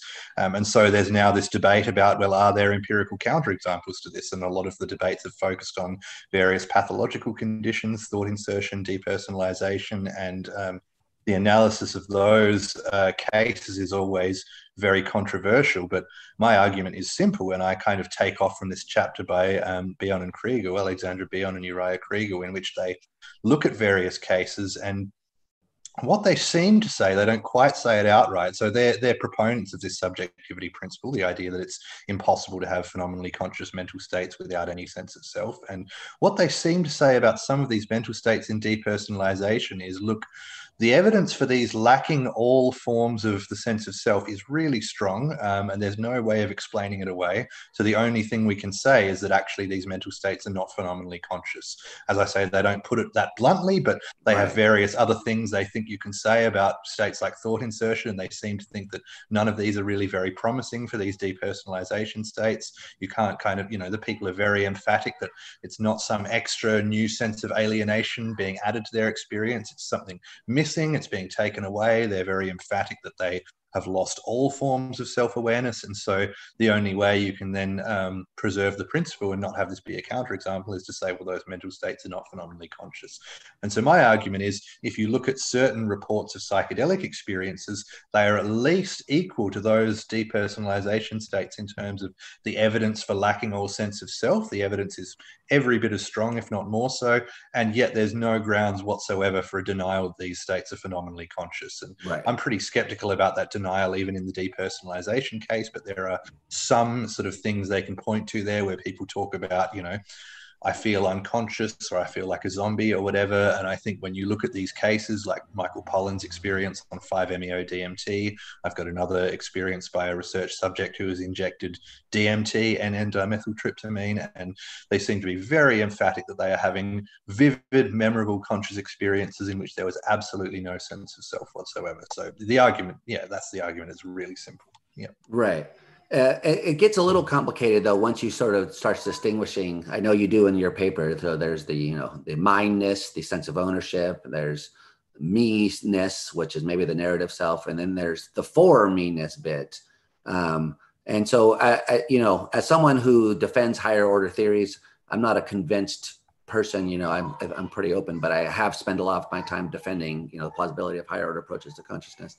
Um, mm and I know that they are camped and put in this group. I know Uriah is a you know self-representational guy, but he's, in, he's largely the same, similar um, to higher order theories. Uh, so the idea that this puts pressure on those kinds of theories, I guess, is what I would kind of want to resist. Um, I think there's some of them that they do, like Rocco Gennaro. He, he explicitly invokes like parietal cortices and areas that are involved in self-representation of the self as to be important for the higher areas. Um, but I don't know if they really put pressure on like what Dan Zahavi calls the kind of inner awareness views, right? That there's a kind of awareness of because even in thought insertion, there's this they they say that these thoughts are inserted into their mind. Like uh, one guy says, it's like a screen that the thing is shown on. So there's even there's a sense in which the, the thoughts are for them, um, even if they're not experienced as being their thought, they're in their mind. Uh, oh yeah, totally. Yeah. So, uh, but you have some interesting things to say about this this for me-ness and these distinctions. So, what, what's the argument against this kind of? Um, you have a dilemma here, I guess, which is what I'm pressing you to talk about. yeah, yeah, yeah, yeah, yeah, absolutely. So my my dilemma is this, right? Is this for me-ness of which you speak um, a genuinely phenomenological feature or not? Um, and if it is, there should be some conceivable report, however weird sounding, that somebody would give that should lead us to conclude that it was absent. Um, and to my mind, if there is any such thing, it's these reports that the psychedelic subjects give. They're so emphatic, and we can go into the details of why, but they talk about the very kind of subject object structure of experience being altered. And I think Michael Pollan's report in particular is really um, interesting in this regard. But yeah, it's on the one hand, um, it's an experiential feature, on which case you should regard these reports as describing its absence. Otherwise, what possible report would you regard as describing its absence? And then on the other hand, it's not a genuinely experiential feature, it's just some kind of relation of epistemic access between the self and its mental states, right? I can access this state in a way that you can't. Well, that to me is not in itself a phenomenal feature. Um, right. The claim seems to be that that epistemic relation is invariably accompanied by a phenomenal feature, but I'm trying to give counterexamples to precisely that generalization. So the move I think that um, people like Zahavi make a lot in this sort of context is to equivocate between the deflationary and the non-deflationary interpretation of for me-ness and say, look, because this epistemic symmetry is there because I can access this experience in a way that you can't. Therefore, this phenomenal feature is there. And um, yeah, my, my claim is that that's question begging in the context where precisely what's at issue is whether the phenomenal feature invariably accompanies the epistemic relation. And so, yeah, the dilemma is either it's a really either you're talking about a real phenomenal feature in which case what could be a clearer description of its absence in this or you're not talking about a phenomenal feature in which case you're not talking about what i'm talking about so it doesn't matter. Yeah. So i think that's interesting. I mean one thing here is the difference between like the absence of the self and the expansion of the self which i know you talk about. So there's a question about whether you want to describe these experiences as the self dissipating or whether it, it's expanding to encompass everything uh, altogether. Um, and I think that's compatible with what these people are saying, uh, because of it, when you have these kinds of experiences, really the ineffability part kicks in. Uh, they're really difficult to put into words, and so people kind of grope for a way to express the experience verbally, and so they may use this kind of language, and it may not be I mean, I don't want to discount the experiences and say they're, you know, they're not phenomenal conscious. I think that's bizarre, but they may be misdescribing them in certain ways because of how bizarre the experiences are. Yeah, uh, yeah. But do you think that this the difference between expansion and dissolution matters? I know you have a footnote about this, but I wasn't clear about whether you really thought that this was uh, a way of answering the objection or not. Yeah, no. So that's that's kind of the awesome objection that I don't really know how to answer. Okay, um, good. Oh.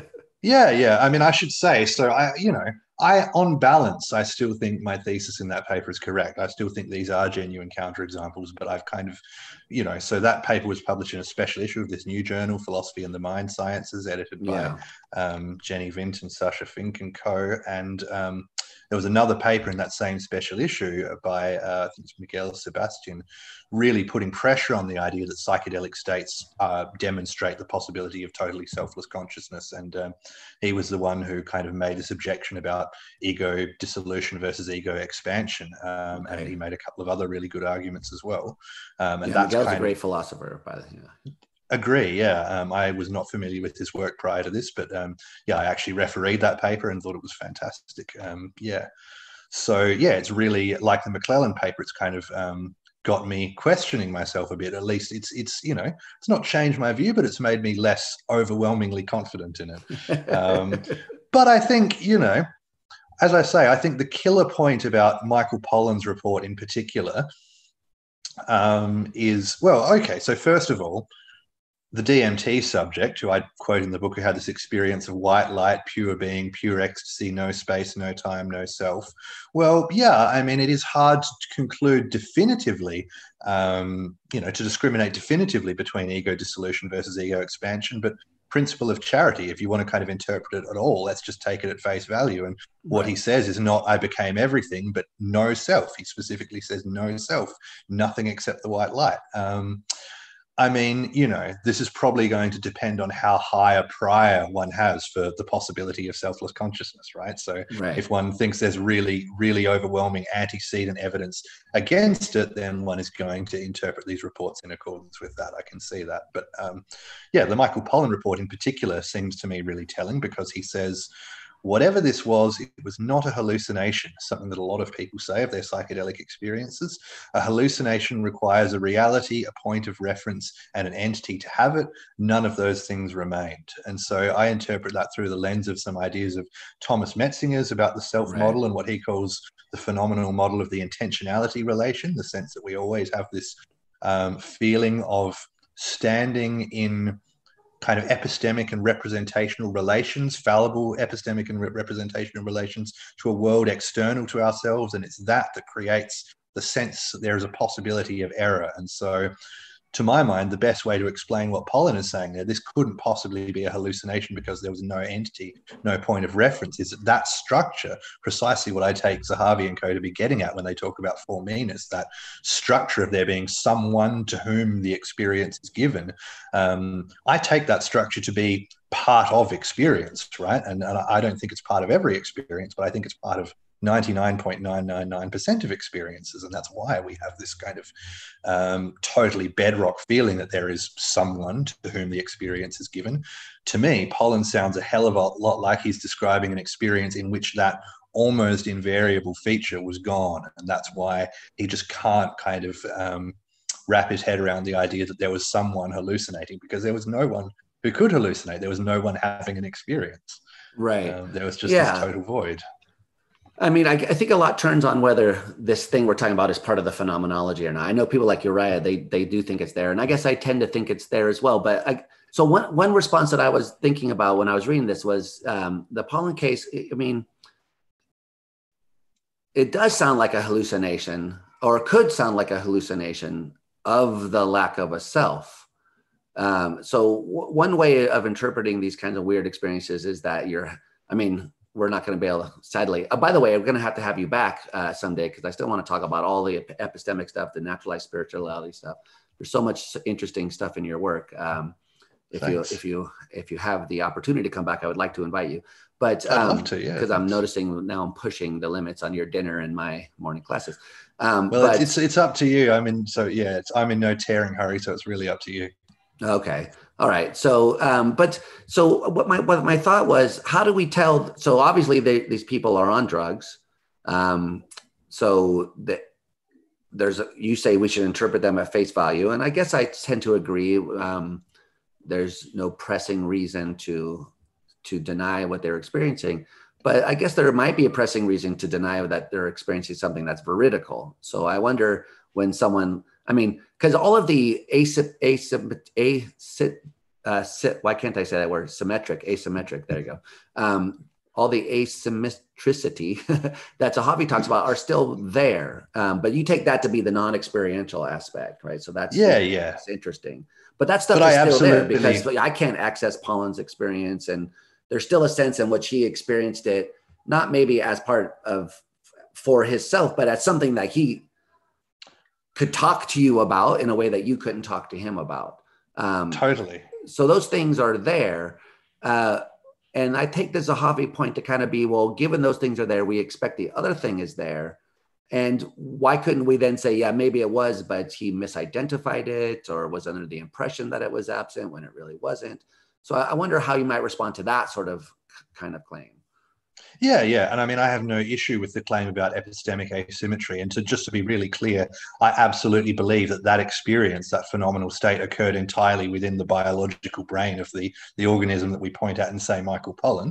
I have right. no doubt whatsoever about that. Um, and yeah, I mean, you could certainly say that because the epistemic asymmetry was there, the phenomenal feature must have been too. I guess my point is just what are the grounds for saying that? Um, I mean, yeah, especially when the question at issue is whether the one invariably accompanies the other. And I think, you know, I think it is true that, like in my paper, I probably overstate how unambiguous and unequivocal these reports are. Like, I think they're pretty strikingly clear. But the thing that Miguel right. points out in his paper is that, you know, what you really want is subjects who are, you know, philosophers who know about um, for me-ness and me-ness and mineness and who, you know, can demonstrate that they're au fait with all these distinctions and come back and say, no, it was that one that was absent. Right. Well, yeah, all of them were absent. Not even that one was there. And so he has some interesting comments at the end of the paper about, um, you know, how we could actually try and test this empirically in future. And so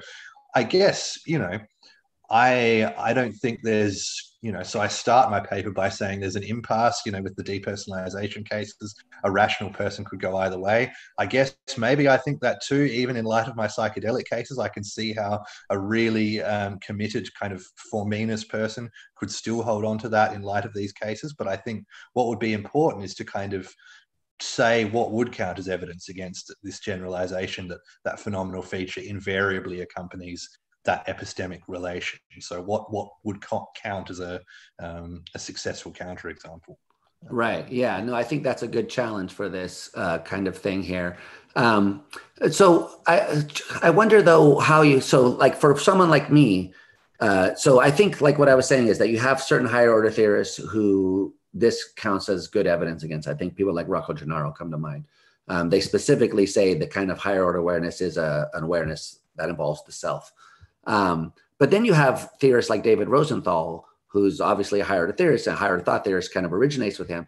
Um, but he doesn't think that it's part of the phenomenology, as far as yeah, I understand yeah. it. It's just that there is this kind of higher order awareness that renders the states conscious um, but you don't ever experience that uh, except in the rare cases of introspection which you know kind of bracketing of the husserlian notion which are relatively rare. But you, i don't think you have an argument against that kind of view here do you? No and i don't really take a yeah, only only views that really do entail this phenomenological claim that all, all phenomenal consciousness comes along with some form of self-consciousness. That's the only target. And I kind of I, I remain, you know, I, I, do my usual move and dodge the question. I remain fairly neutral in the paper on which of these theories of consciousness are actually committed to that. I just say, well, any of them that are, this is going to be bad news for them. Um, but yeah, any that are not, um, varieties of um, higher order theories that don't um, that aren't committed to that phenomenological claim, fine. Yeah, there's nothing for them to worry about here, I don't think.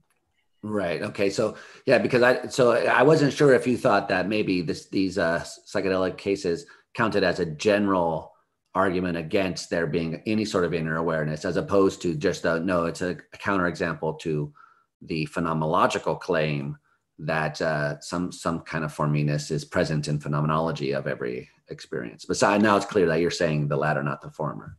I am saying the latter. I mean, I guess I think it's sort of it raises a, a, challenge maybe for such views. I don't know if I'd even say as put it as strongly as a challenge, but it raises the possibility that those views are somehow ultimately derived from a mistaken intuition, right? Because I talk about this access assumption, the idea that consciousness yeah. consists in the accessing of mental states by a subject, and I owe that terminology to my supervisors, Gerard O'Brien and Jon Opie, and I sort of agree with them. They say that you know this is the you know the worst bad idea, most tenacious bad idea, bedeviling uh, the study of consciousness. They're sort of paraphrasing a line from Dennett. I don't, don't think I'd go that far, but I do think you know i think it's an intuition that is based on this kind of ubiquitous structure of phenomenal experience but i mean you know i don't want to kind of commit a, a genetic fallacy like obviously like the um, questions about these theories need to be decided on the arguments and evidence but to the extent that the appeal of theories like that derives from this intuition about an access assumption,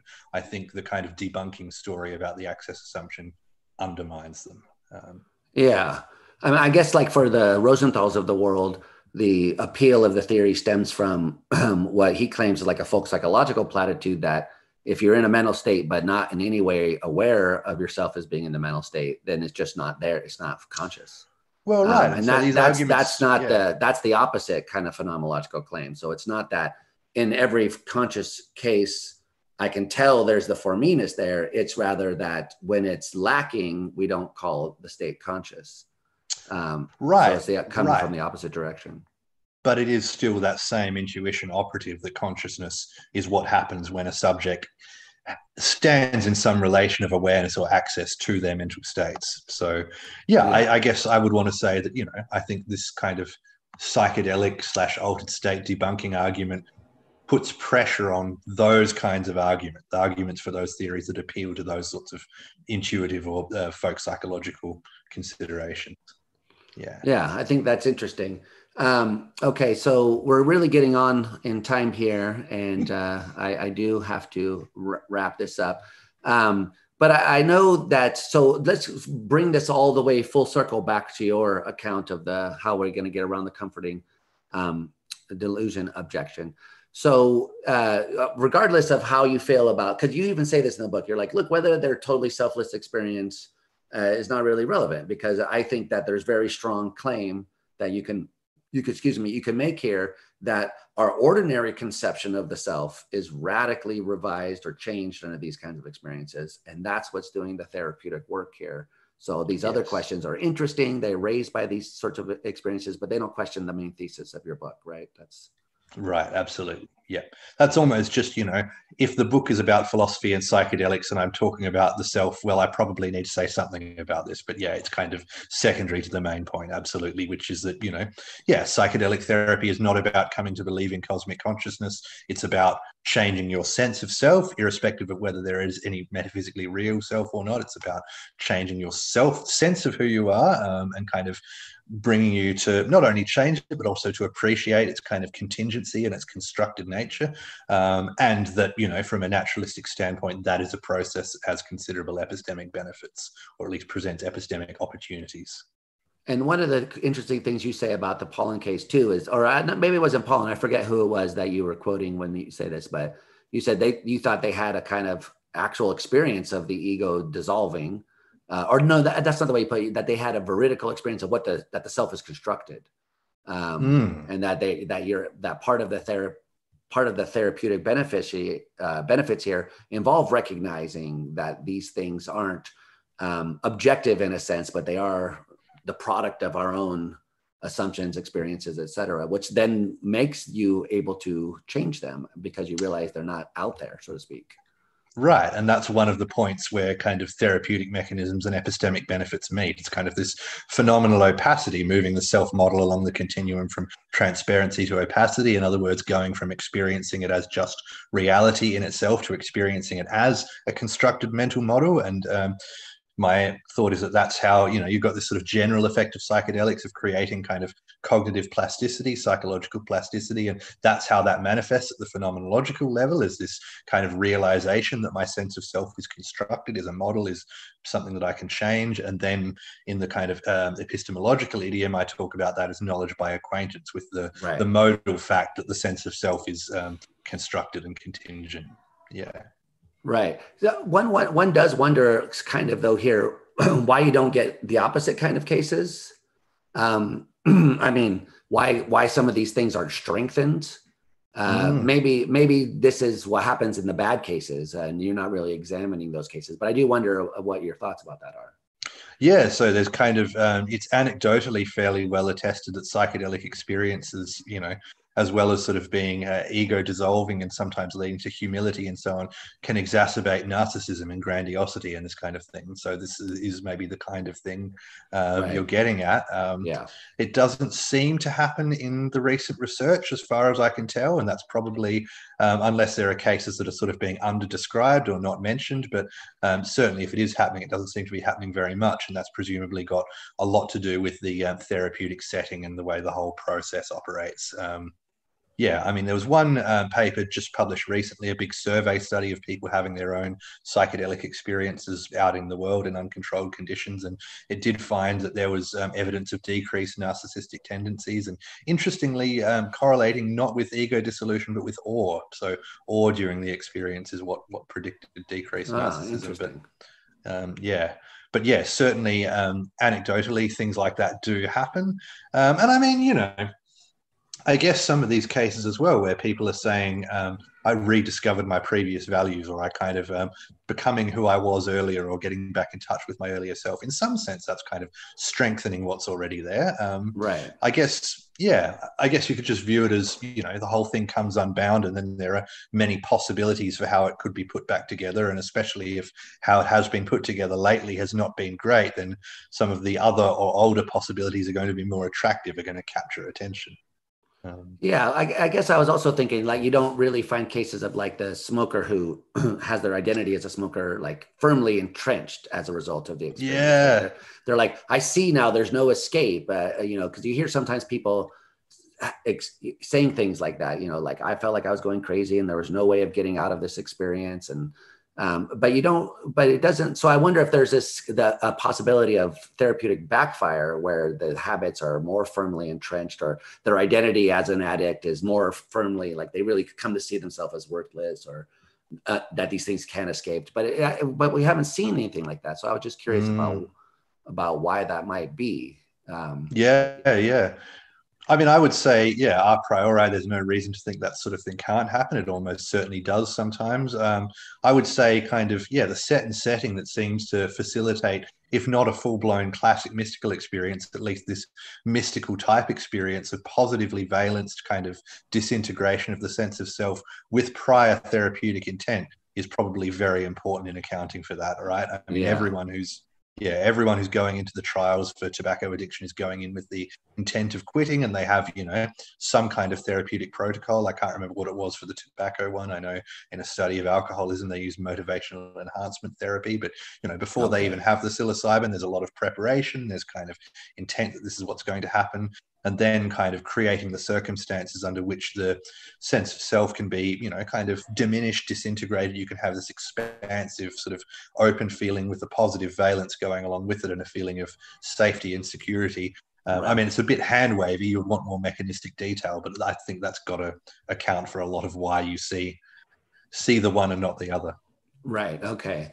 Uh, and I also just wonder, kind of finally, about um, whether or not this is cheating in a sense because you can get some of the same um, effects in meditative practices. You know people describe you, you talk about the similarities between um, you know certain meditative practices and the kind of experiences that you have under psychedelics. And so one wonders if you should do the hard work and you know focus on changing the self through these non uh, hallucinatory experiences um, and you you suggest no that you know that this is a, a, perfectly good way of doing it. So I wonder if we could just say a little bit about that before we're finished. Yeah, yeah. So um, I mean, the the label that's been given, I can't remember. I think it was Gerald Klerman, but the name someone gave to that kind of view is pharmacological Calvinism, right? Yeah. The idea that there is this um, it's very apt. There is this kind of virtue in in you know hard work, and that one ought only to to use drugs as an absolute last resort. To which I right. say, why? Why on yeah. earth? I mean, we just have this, yeah, totally weird um, way of thinking about drugs in our culture. And, you know, the fact that psychoactive substances have been used kind of responsibly, medicinally, sacramentally as integral parts of many, many cultures um, since time immemorial.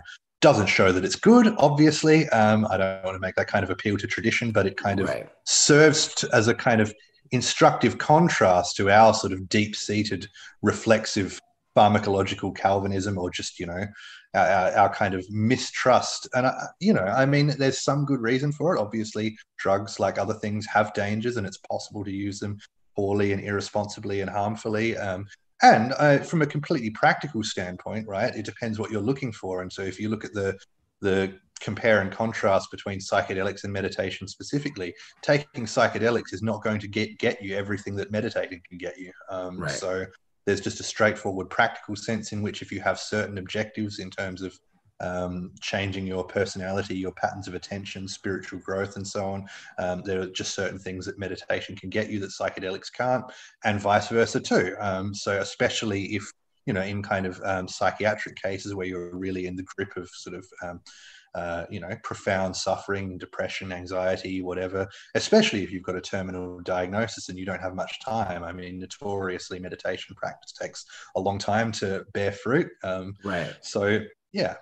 Uh, yeah, I know it's. I find this a really a lot in my students when we're talking about this. They they have this really strong reaction. Like there's there's something. Yeah, I like the pharmacological Calvinism line because yeah, that's a kind of it's a real sort of this is a shortcut and you're sort of a bad person for taking it instead of doing the hard work. And I, I think that, mm-hmm. yeah, hopefully that is uh, a product of our culture. Um, and we should reshape the way we think about drugs. I think that's an important message, which is coming out of the kind of work that you're doing.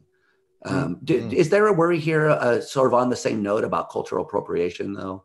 Uh, some of these like sacred things that we're taking and using for these other purposes, but divorced of all the spiritual and you know cultural aspects, like especially with ayahuasca and stuff like that. I wonder. Yeah, is this I mean, a worry? Def- I mean, I think there's definitely a worry about that with ayahuasca, given what's going on with the whole kind of ayahuasca tourism scene. A lot of that yeah. is getting very messy. I mean, I must confess I haven't looked into these issues or thought about them in much detail. Um, I find it interesting on this front that LSD was sort of discovered um, in a kind of Western scientific um, pharmacological setting and was used sort of quite independently. It's sort of like that almost came on the scene first in terms of mainstream science in the 1940s. And then it was later in the 50s after Gordon Wasson went to Mexico and had psilocybin mushrooms in a traditional ceremony that people realized we're dealing with a, a unified class of drugs. So right. I think there might be some worries about that. But I think, you know, it's also clear that a lot of suffering is being alleviated, and a lot of that is happening because we've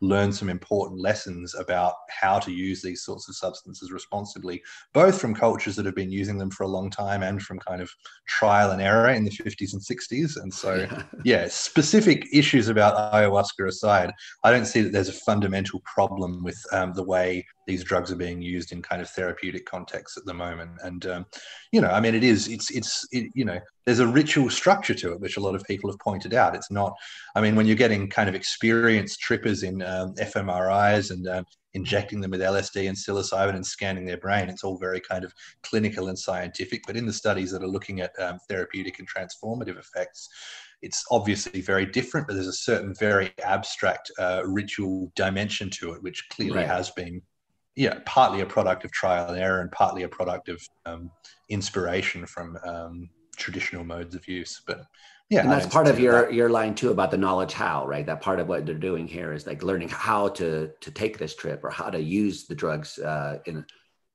It's an important. In a sense, I mean, that's more what Benny Shanon says, and he's talking specifically about ayahuasca. But I sort of take that idea, and um, I probably haven't been clear enough on this because he says, yeah, through taking ayahuasca repeatedly, people become skilled in the art of drinking ayahuasca. They learn how to do this gracefully and responsibly. And I've sort of said, well, what does that actually amount to? And then it probably sounds like I'm saying it amounts to this one thing and only this, which isn't what I mean to say. There's more to mm. it than that that involves the traditional ceremonial context. But my claim is that an important part of that skill, the skill of kind of drinking ayahuasca well or taking psychedelics well, is uh, basically these mindfulness skills of kind of yeah attending openly, curiously, and non-reactively to one's own mental contents. And okay, that's so, but that's less the idea of the ritual or the the kind of preparatory stuff.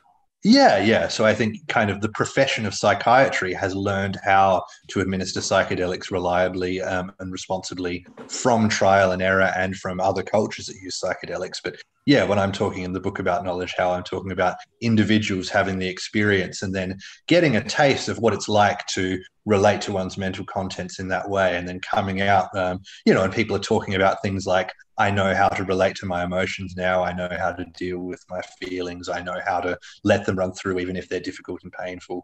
So that's more what I'm what I'm getting at there. Yeah. I see. Okay.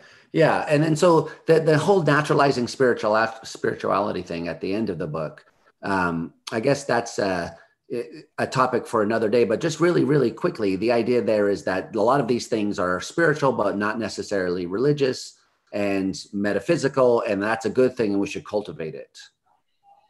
Yeah, so it's just kind of plugging into this um, interest that philosophers have had in recent years in the question of whether spirituality is compatible with naturalism, because there is this idiom of spiritual but not religious, right? So a lot of people say right. I'm spiritual but not religious, and what it seems to connote is something like a direct, practical, experiential approach to issues of personal transformation and finding meaning in life and that kind of thing. Um, and so that raises the question, right? If it's this kind of practical, experiential, non dogmatic thing, there's kind of this intuitive assumption that spirituality is kind of hitched to traditional religious metaphysics, that to be spiritual, you have to believe in spirits or, or yeah. uh, something like that, right?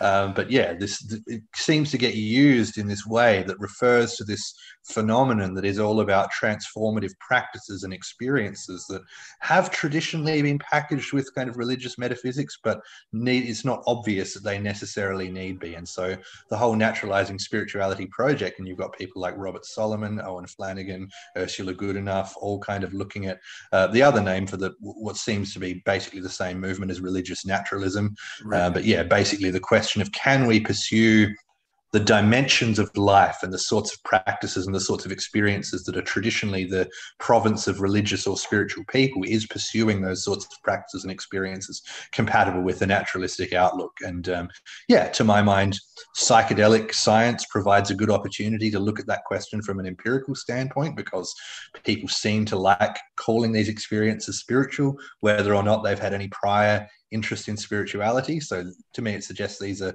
paradigmatically spiritual experiences. They kind of, that seems to be the best word for them to a wide variety of people with a wide variety of prior worldviews. So the thought is by looking closely at what's going on in these experiences, we might get some evidence about whether paradigmatically spiritual experiences and transformative practices really are compatible with naturalism. And of course, that's yeah. where it plugs into the rest of the book, where I'm saying, look, a lot of the time you have these mystical type experiences and you're getting connectedness, you're getting aspiration, you're getting these reflection on these big questions and philosophical mysteries, but it's not always going hand in hand with these non naturalistic metaphysical ideations about a divinity or cosmic consciousness or whatever. And so the implication would be that sort of even persons without disorders uh, might eventually find use for psychedelics if they want to be spiritual but not religious or something. Right, absolutely, yeah, and obviously these studies have been done. So the studies, um, you know, notably at uh, Roland Griffiths' lab at Johns Hopkins, lots of studies there with um, healthy volunteers. You know, in some cases they've specifically recruited people who have some kind of spiritual or religious practice.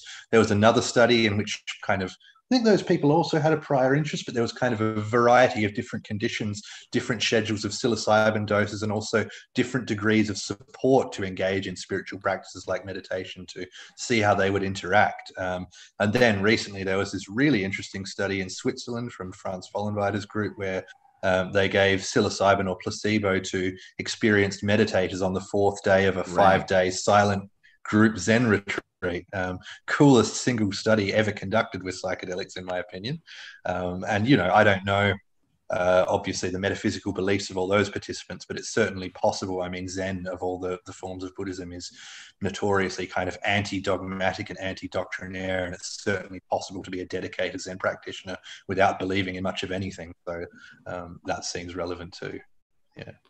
Yeah. Okay. Very cool. All right. So I I, I, I could keep going on and on forever, but we got to let you go. Uh, it's past dinner time. So let me just say thank you very much for joining me. This has been a wonderful conversation. I've learned a lot from reading your stuff and thinking through these issues. And I, I really hope the book gets wide success. It deserves it. Thanks very much. Yeah, my pleasure. Thanks for having me on. Yeah, no problem. So just hang on for one second. I'll say bye off air, but uh, let's go ahead and finish this up. All right. So, uh oh, hold on. Um, yeah. Okay. So we are off the air.